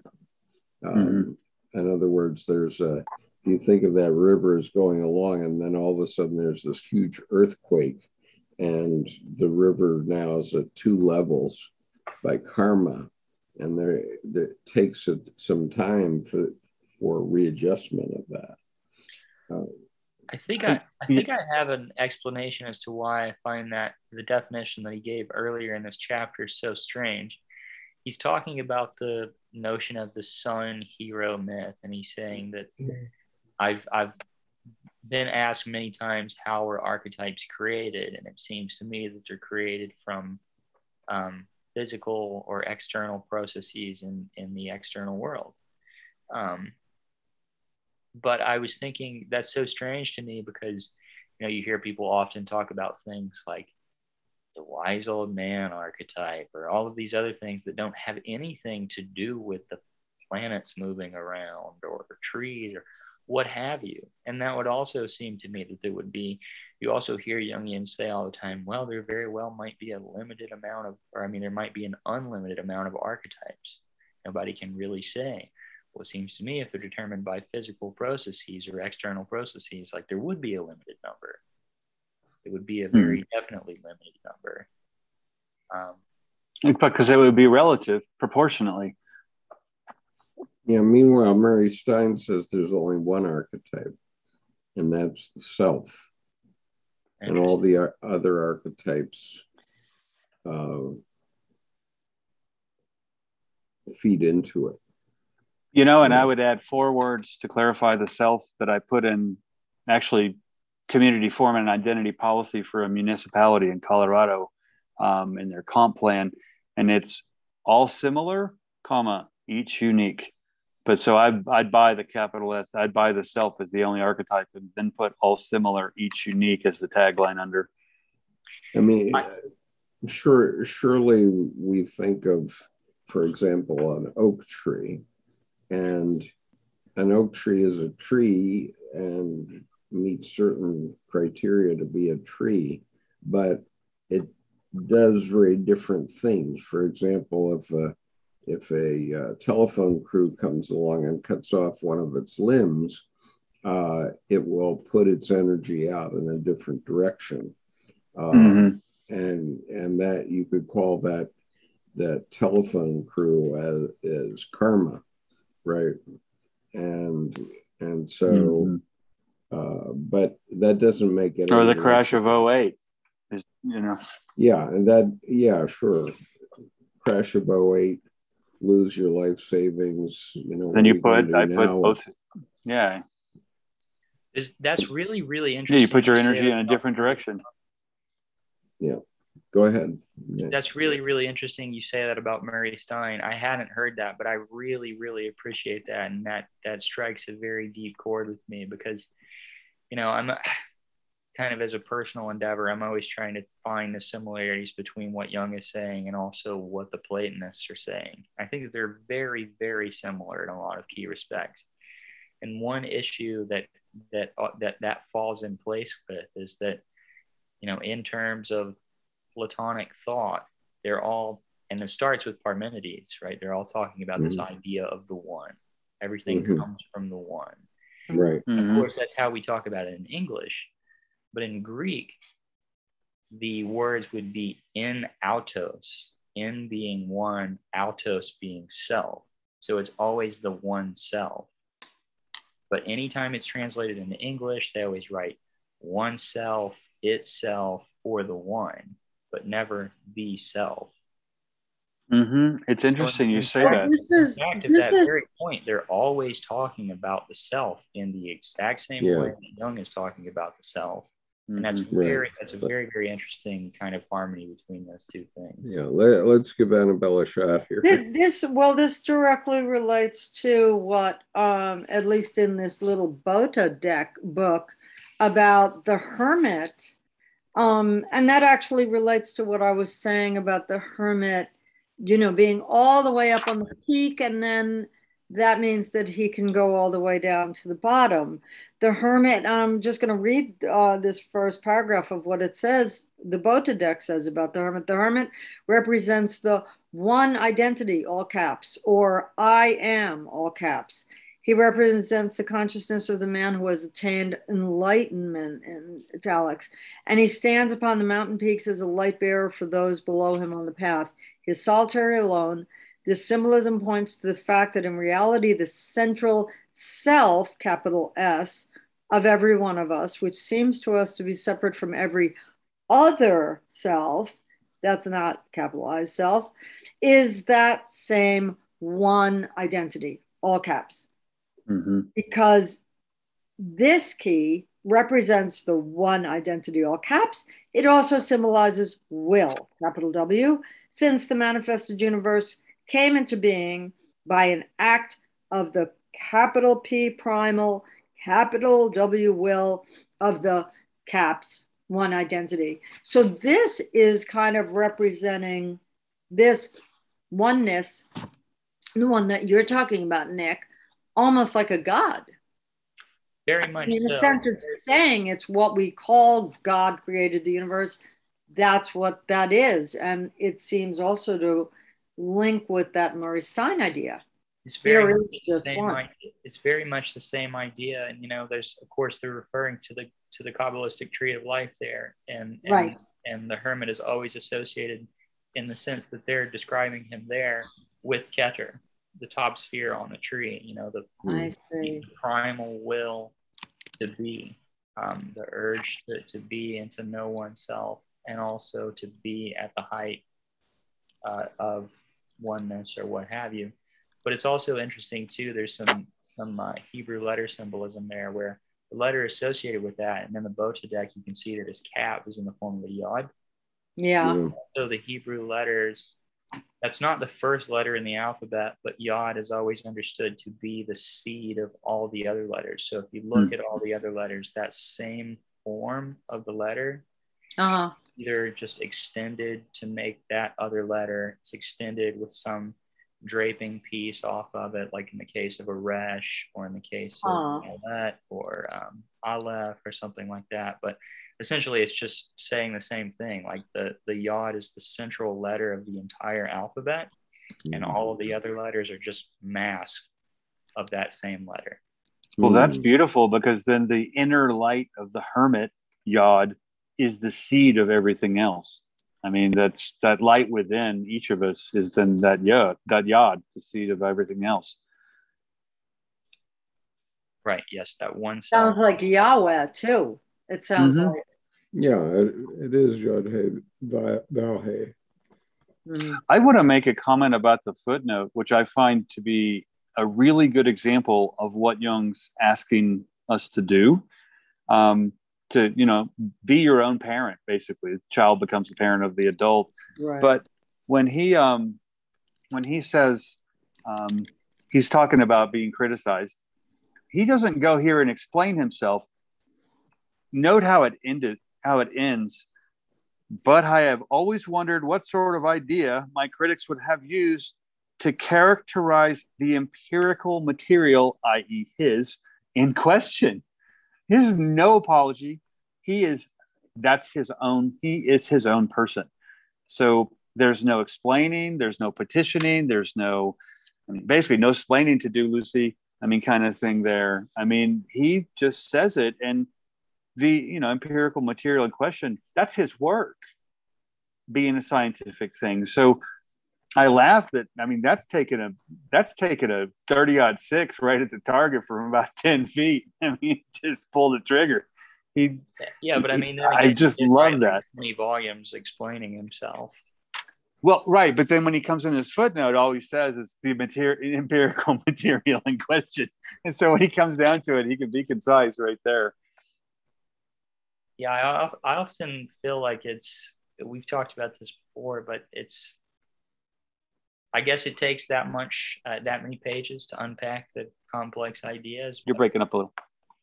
Uh, yeah. I, I, was just saying, I know that we've touched on this before, and I, I guess it's understandable that that many pages and that many volumes are required to unpack such complex ideas. But in many cases, I often feel like they are just pages and pages and pages of Jung just qualifying his ideas. Mm-hmm. Yeah. yeah. yeah. I agree. And and it's very painful. Um, that's why I like Lawrence uh, Jaffe's book. It's funny because I find it I find it like a big hot tub, hot spring of words. so I love it. Well, yeah, sure. So do I, in the sense that I've been reading it for I don't know 33 years or something like that. But I also like to be able to look at Jaffe and see his perspective because right. he's taken a very small book and really uh, encapsulated, you mm-hmm. know, a lot of Jungian thought, right, right down to the to the kernel.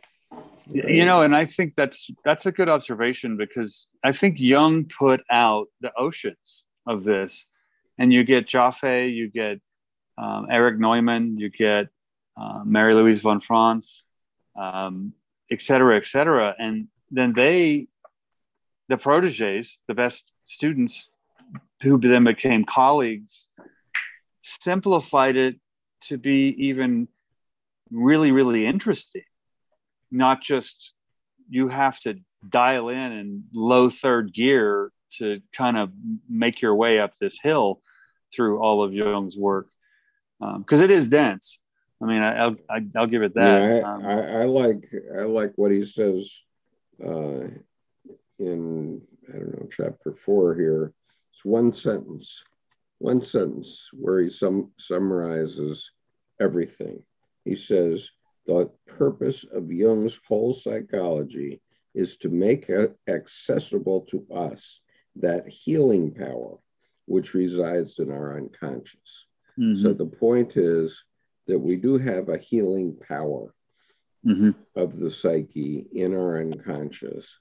And by studying Jung, we're getting access to that.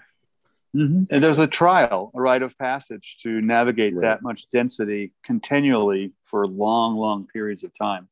It's like a marathon runner of reading. I mean, yeah. Even if it's okay. taking a paragraph speaking, at a time. Speaking of marathons, let's let's get on here with, with 119. Uh, yeah. Um, Annabelle, would you uh, read 119, please? Yep. The work involved in analytical treatment gives rise to experiences of an archetypal nature which require to be expressed and shaped. Obviously, this is not the only occasion for experiences of such a kind. Often they occur quite spontaneously, and by no means only in the case of, quote, psychological minded, quote, close quote, people. I have heard the most curious dreams and visions from the lips of people whose mental sanity not even the professional psychologist could doubt. The experience of the archetype is frequently guarded as the closest personal secret because it is felt to strike into the very core of one's being. It is like a primordial experience of the non ego of an interior opponent who throws down a challenge to the understanding. Naturally enough, we then look round for helpful parallels, and it happens all too easily that the original occurrence is interpreted in terms of derivative ideas. A typical instance of this kind is the Trinity vision of Brother Nicholas of Flüe. Of Flüe. Of, of Flüe. Flüe. Mm-hmm. Um, um, or again, St. Ignatius. brother, Brother Klaus. Brother Klaus. Um, or again, St. Ignatius's vision of the snake with multiple eyes, which he interpreted first as a divine apparition and then as a visitation from the devil. Through these paraphrastic interpretations, the authentic experience is replaced by images and words borrowed from a foreign source and by views ideas, and forms that have not grown on our soil and have no ties with our hearts, but only with our heads. Indeed, not even our thought can clearly grasp them because it never invented them. It is a case of stolen goods that bring no prosperity. Such substitutes make men shadowy and unreal.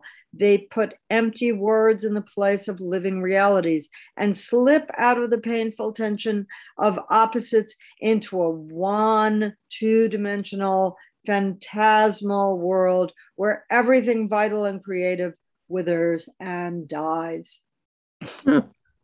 mm-hmm. We got this is this is becoming a theatrical play. I like that because he yeah. he's getting in there. Well, I, I don't entirely agree with him though, because um, I have had visionary experiences that involve both the European mind and the Japanese mind. And uh, for example, on the occasion that um, my my daughter told me, "You're going to." I'm sorry to say this, Deb, but you're going to hell or I think you're going to hell. And on the way home, Mephistopheles plumped, plumped down in the seat next to me in the car. Okay, now maybe he was there for only five or 10 seconds, but because I had been studying Jung for maybe maybe over a decade by then, I said, "Oh, okay, so this is how um, born again preachers scare people into their faith uh, because if you you know there there's truth to the idea that um, if you speak of the devil he appears right? There's truth to that and and i can vouch for it from my personal experience and so but i'm an american i'm not i'm not a european at least not for you know, 13 generations, I guess, um, in, in terms of my paternal line. And you know, still I'm having, you know, because I read Faustus in college, I have, you know, I had an image of him when I studied the play. I imagined what he would look like. And so it was that image that sat down next to me, right? And mm-hmm. so I, I, it was obvious. I said, well, I'm going to cut the Faustian bargain. I mean, th- this happened in like five ten seconds. But I said to myself, I'm going to cut the Faustian bargain. And I made the bargain that um, you can have my eternal soul on my death, provided none of my daughters think that of me for the rest of my life. Okay. And he disappeared and he never came back. Okay. And so, boom, you know, in, in five ten seconds, I made him poof away. But, you know, somebody else driving at 65 miles an hour and that happens to them, they could easily drive off the road or, you know, have, have a critical accident in some way. Mm-hmm. Uh, and, and it goes to show too the thoughts become things and the the liminal boundaries whether you understand dream form you were schooled in jung so you know you, you are now going to have a conversation with this person you hadn't had a conversation with. They they're there. You know, like a businessman you went okay you're at the table let's talk. I mean you you engaged which to me is a, beautifully interesting because you engaged. You know, you're like, oh, all right, you know, and it goes back to, I mean, the movie even Gladiator or the whole thing, you know, death smiles at us all, but all you can do is smile back. I mean, you don't get afraid. That's the worst. Panic is the worst thing for a situation. So you engage yeah, and, and who knows how long it would have lasted if I hadn't had that in, instinctual response right. to it. You know, because the other one, the the Japanese one, which came out as my novel, lasted eight months. It was a literal possession by my anima. And it was only, you know, years later that I figured that out. Uh, and, uh, you know, but that, okay, I, I had lived in Japan, so, it, you know, some of it had rubbed off on me. I think it would also be slightly different if it were like a um, something to do with mythology. Well, why mythology, Nick? I mean, I, am sorry, I don't. Mythology is always connected to religion, and it would be interesting. I mean, you know, it's yeah, not like but but you know, but these things, religion you know, not everything has to do with the Greeks. I'm sorry, I don't agree with that. Okay. Do you because, think mythology has to do with the Greeks? Well, I mean, you know, because it doesn't. Every culture has a mythology. Uh, well, okay, but um, but the point is, um, you know, why, why, why do I have to think about mythology? in order to think about this these issues. You know, why do, why do I have have to have a parallel? Um, you know, I'm I'm just I'm just questioning you so that you can think about these issues for the future. But you know, why do why does there have to be a parallel in some mythology?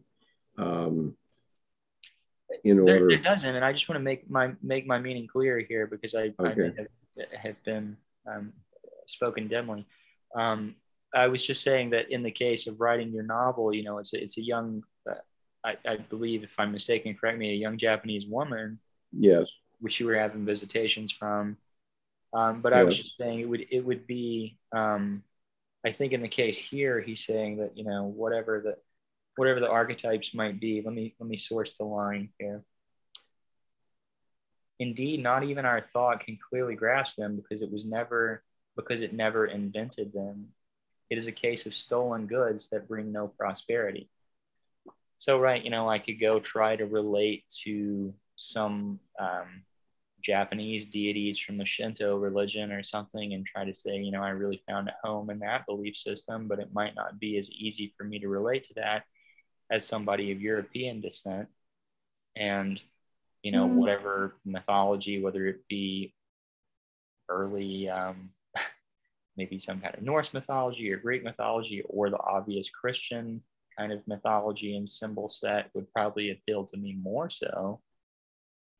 But I don't, I, I was just saying, I, I think that what he's saying here is that in your case, it's a different situation because it's just somebody that you had personal experience with, you had time in Japan. So it was personally relevant to you. It was not like you were experiencing some mythological character from Japan. But well, I, I mean, assuredly, I was following an archetypal pattern, okay, because I I was intentionally following uh, an archetypal pattern presented by Clarissa Pinkola Estes in Women Who Run with the Wolves. And in that pattern, there is there there is a fairy tale that um, applies to that. It's a sort of a central Russian fairy tale. Um, and and so uh, it's the one about, uh, is it Vasilisa? Yeah, it's Vasilisa the Wise. And so, right. you know, Estes has put down, you know, the nine steps that women go through to develop their intuition. Okay. Um, that's what she says. I think she's actually just describing the process of women's individuation because in fact the novel ends up being the individuation of the of the heroine um, I also just want to say, of hmm. course, I'm not saying that you or anyone needs to necessarily be um, familiar with mythology. And if I am, take it with a grain of salt. I mean, what do I know? Uh, but also, I think it's interesting to note that you know, I, I'm personally not dreaming of Japanese or or or Buddhist or what have you characters. No, of course not. Probably kind of the European psyche that might pop up in my psyche. Yeah, but, you know, it's true of somebody else. What comes to me, Skip, every time you mention the Mephistopheles um, recount, it it's the shortest, not one act play. It's a one scene play of answer to Job, and you're like, I'm going to nip this in the bud. I mean, so it, comes and goes, but it's the whole story in a way of the of of Job. But in just the conversation with your daughter, you get in the car, and then you speak and then sorry, we done. didn't hear any but of that, you, Jordan. Yeah, you Jordan, broke up, Jordan.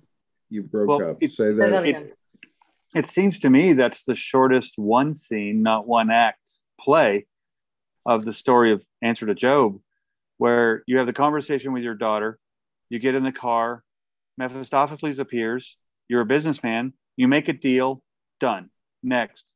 And by making the deal, you stop all of Job's suffering that would be coming your way if you would have turned away. Or, like you so aptly said, this is how fundamentalist preachers get people. Yeah, because then they get them stuck in that quicksand, and you went, No, I'm not going there. Here's what's been, we're going to make a deal, and boom. And you didn't ask a question, you you posed a proposal. And yeah, but it was it, it was an in, instinctual thing. I didn't even say I'm going to make the Faustian bargain. No, but what I'm saying is naturally that was your mode of being, and you you you saw the suffering down the road and went, uh. Uh-uh.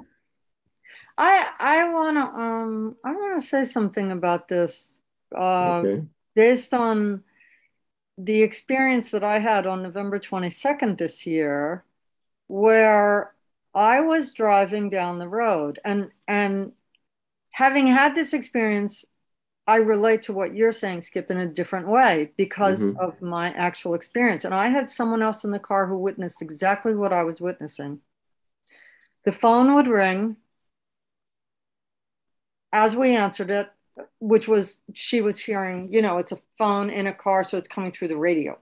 Yeah. In, in itself is, you know, some kind of mind boggling, you know, mythological folk something, right? It's his voice. Right. right? Deus ex machina. Yes. so the voice is saying your father died. And what's straight ahead of us? A crossroads.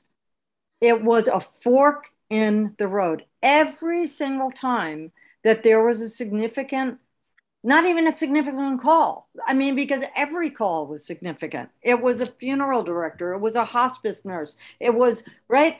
And each moment that those calls happened, so that my my friend the passenger next to me in the car we were stunned you know once they it happened like the fourth time it was mm-hmm. just mm-hmm. like wow now and then i you know with my background both family and just personal interest in folk traditions, which we can call slash mythology, and you meet the devil at the crossroads, or you meet death at the crossroads, or you meet mm-hmm. whatever you meet at the crossroads. It is the crossroads. It's the story of Robert Johnson. You know that sure. at one point that musician was at a crossroads and that was it. He never could turn back and he was, you know, he became Robert Johnson. I mean, so I couldn't turn back because the first crossroads, and this is crossroad this is the New Jersey Turnpike heading to Philadelphia. This is not some imaginary realm.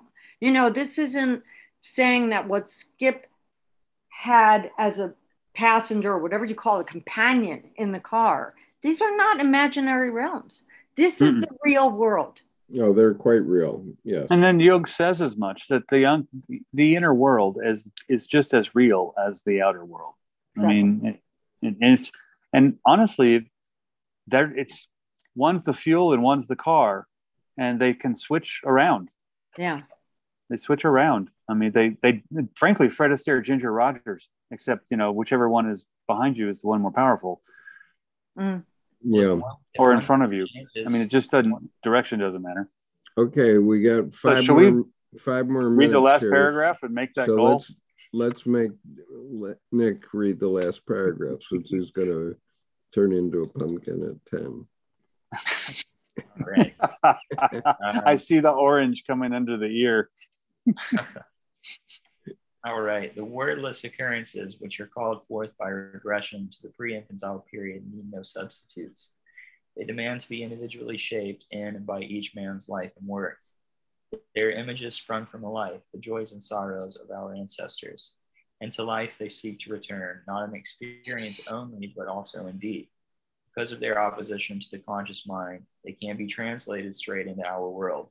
Hence, a way must be found that can mediate between conscious and unconscious reality. And before we go away from this, I just want to say, let's quickly, I'm going to read this last line and then let's refer back to the end of 116. Okay. Because okay. of their opposition to the conscious mind, they cannot be translated into our world. Hence, a way must be found that can mediate between conscious and unconscious reality. Okay. And yep. this other line, the worst feature of all is that there appears to be no way out of this condition. Tertium non datur says logic, there is no middle way. What the hell? No, no, no. He's saying there's no middle way of um, logic saying that um, but that it need to find a way to mediate between the two. So there's, he, I think he's saying you need to find a way so they can dance together. Instead of here, he's taking a shot at capital R reason because tertium non datur says logic.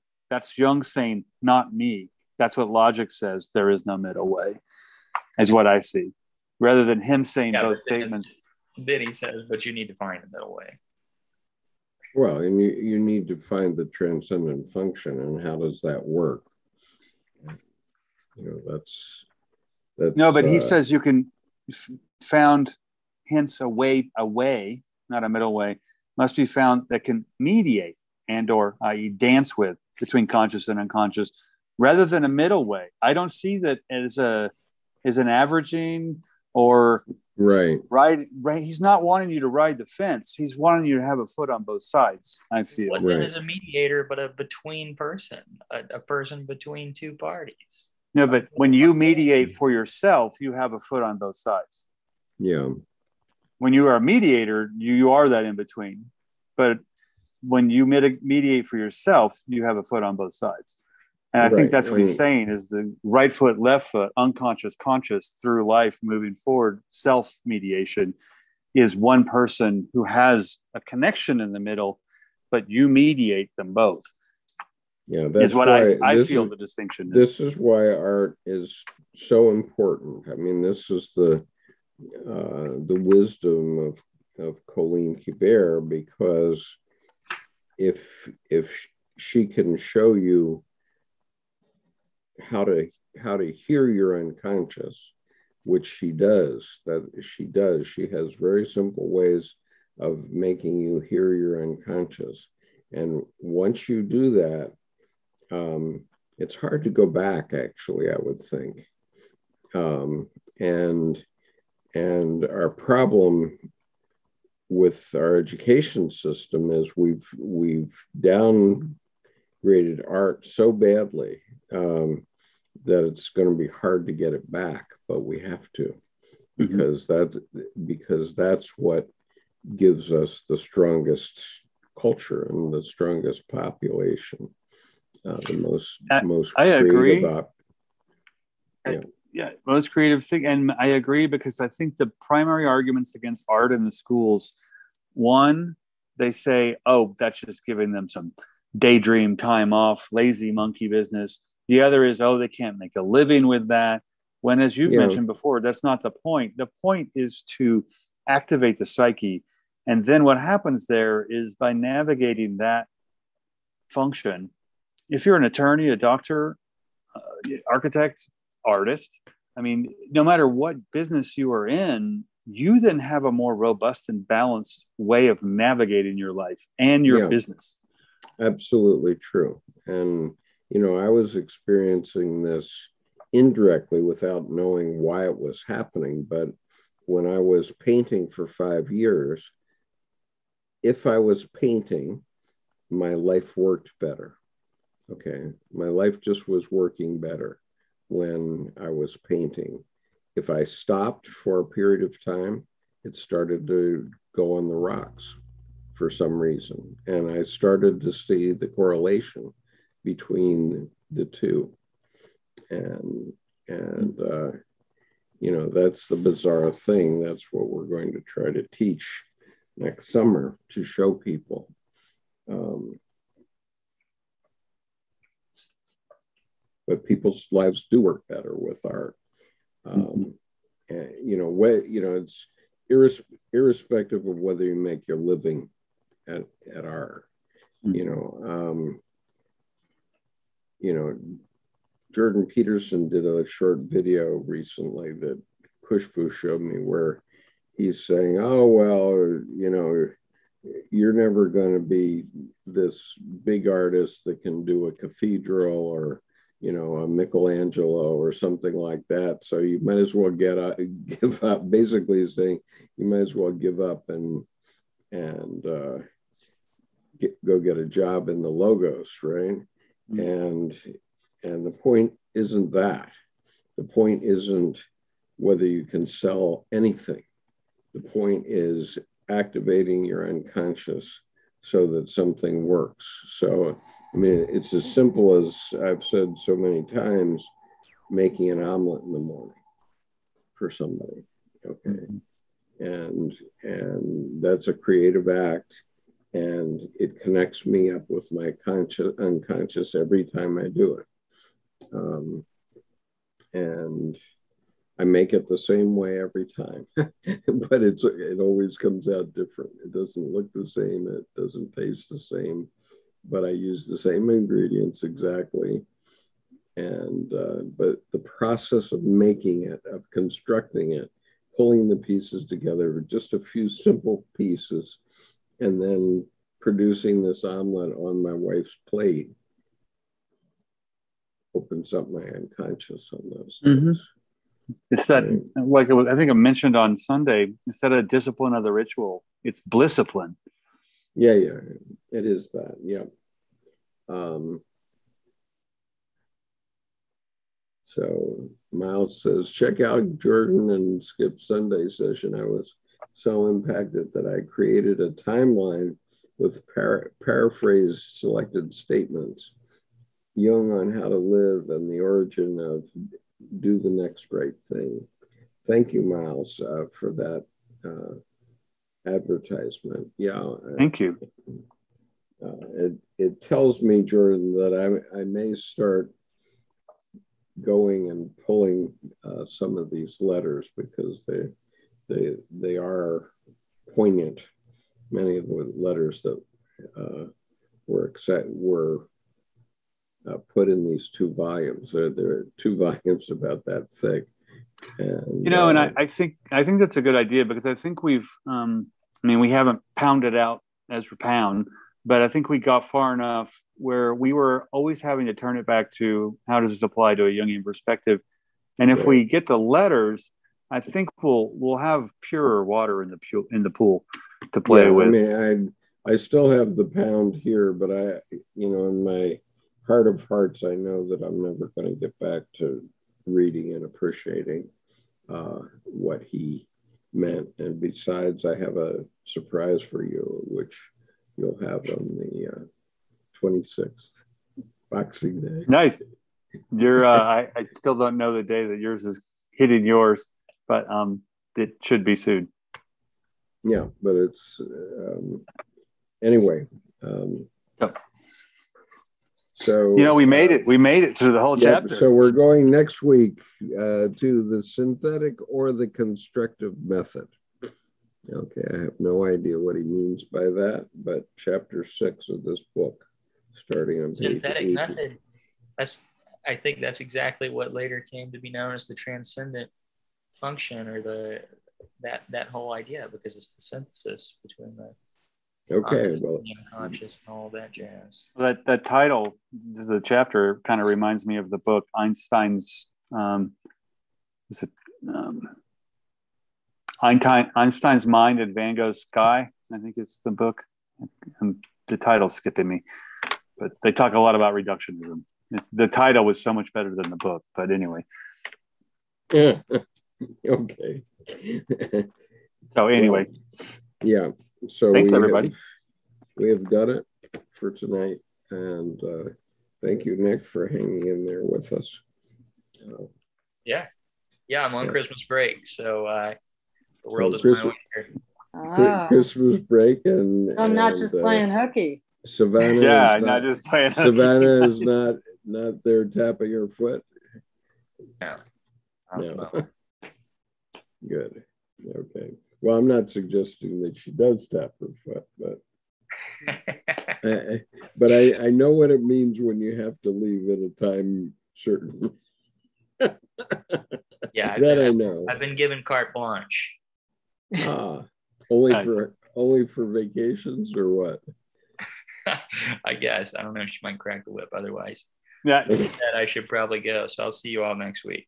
Okay, peace.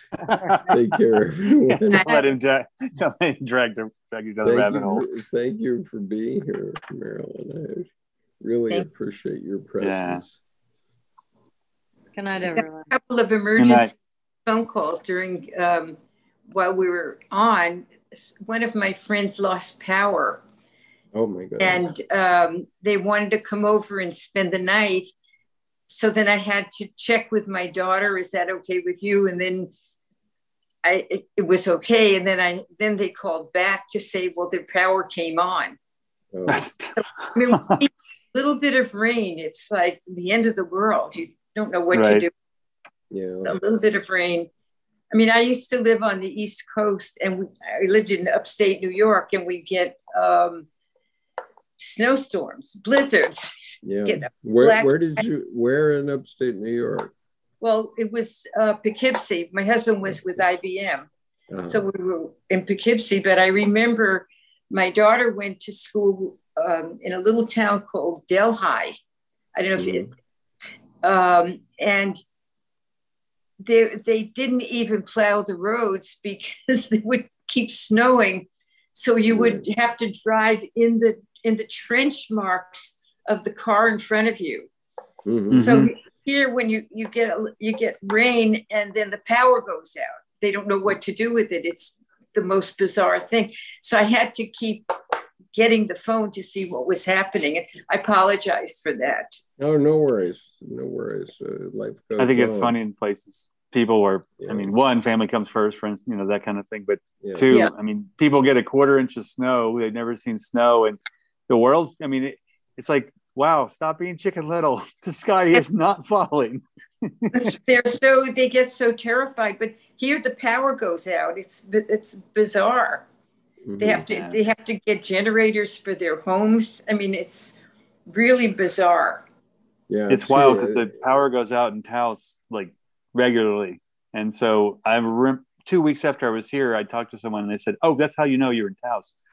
It's like because just okay well, the same is true in Annapolis, where we have a very forested city because the, mm. the forests are pretty impressive in Maryland. And uh, you know, if we have a storm of any kind, we'll we'll have trees and branches down, and they take take out our power. In fact, we lost power tonight for a period of time. Uh, so, sorry. I don't remember it happening when I was a kid you know. Um, but then I lived on the desert. I lived in Kodiak, so the Navy provided our power with generators. I don't know what yeah. they did. so I remember in Denver that they would they would cite you if you didn't continually. You get a ticket on your front doorstep if you didn't continually keep your branches 48 inches from the power lines. I mean, they they, they wanted it through. And I, I, remember mentioning that in Philly once, and someone looked at me like I had two heads. So like, that's, that's no. And I'm like, okay, we got a different sensibility going on here. Yeah. You're gonna okay. buy a problem. So, so great Jordan, to see you guys. I have one question for you. Is your bear hibernating? Is my bear hibernating? Yes, we used to see the bear off your back deck. Oh, oh, that's up at the cabin. I haven't been there in about in about two months now. Um, I closed the cabin down second week in October because in February it'll be 40 below it, for several days, which to me is that's not my constitution. Yeah. So, um, unfortunately, um, that that bear I found out was named Cinnamon. That beautiful bear we saw that day.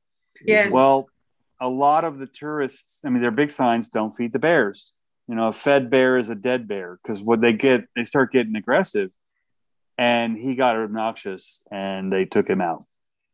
Oh, yeah. So I, I do appreciate you asking though, because he, oh, he, he was, was really, gorgeous. yeah. And he was near and dear to me. I, there were times when I'd sit out, we just stare at each other. You know, if he started coming forward, I'd go inside. I mean, I, I didn't want to push the envelope, but he was a great bear, but when he left, I'm five miles up from the town, but all the bears one weekend disappeared. And it's like there was a bear internet. And there was a whole group of people who were feeding them in one of the RV parks. And one guy got all angry because they they got into his car, but they saw people doing this, lifting the handles. So the bears would do this, and there would be the the nail scrapes up the car because there would be a sandwich in there. And one of the reporters asked the guy, he's like, Well, did you have food in the car? He goes, Well, yeah, I had my lunch. It's like, You're a, and the reporter said, You're a bonehead. You're going to make the Bears be killed. And several days later, I got the news that um, he, he had been fed too much. And so he just got obnoxious. And um, so he started coming, you know, up to people, but in a day. So thanks for asking because I, I kind of had my own little ceremony on the deck for him because he was he was gorgeous. It's a great attitude. I mean, he he wasn't aggressive at all to me. He just hang out, and, and I was glad to be there in nature with him. But then it was one weekend, all the bears disappeared from where we are up up high, because I think the bear internet just started saying, "Oh, there's free free buffet." Yeah, you know. So, Skip, I don't know if you know this, and this would be interesting, Jordan. You know what Colleen's spirit animal is? Uh, uh, yeah, a polar bear. Polar bear, yeah, polar bear. Bear, and sure. she's made all kinds of work uh, with ah. gorgeous white polar bear. It's just beautiful. You mm-hmm. know what I ought to do is go to one of the fetish shops here, and I have this one that I carry with me for my table. Mm-hmm. Oh, someone, and I love the stone because it looks like it's emerging and coming together at the same time. I don't know if it's correct, but a friend of mine gave me this for my birthday about uh, 10 years ago. But I wonder if I can find a white one that's like a polar bear for Colleen. Fabulous. So I'm going to have to leave. Yeah. But it's so are we all. Yes. Good yep. to see everybody. You too. I'll be back next week. Bye bye. Have a good night. Marilyn, take care. Bye-bye. You too. Take care, everybody.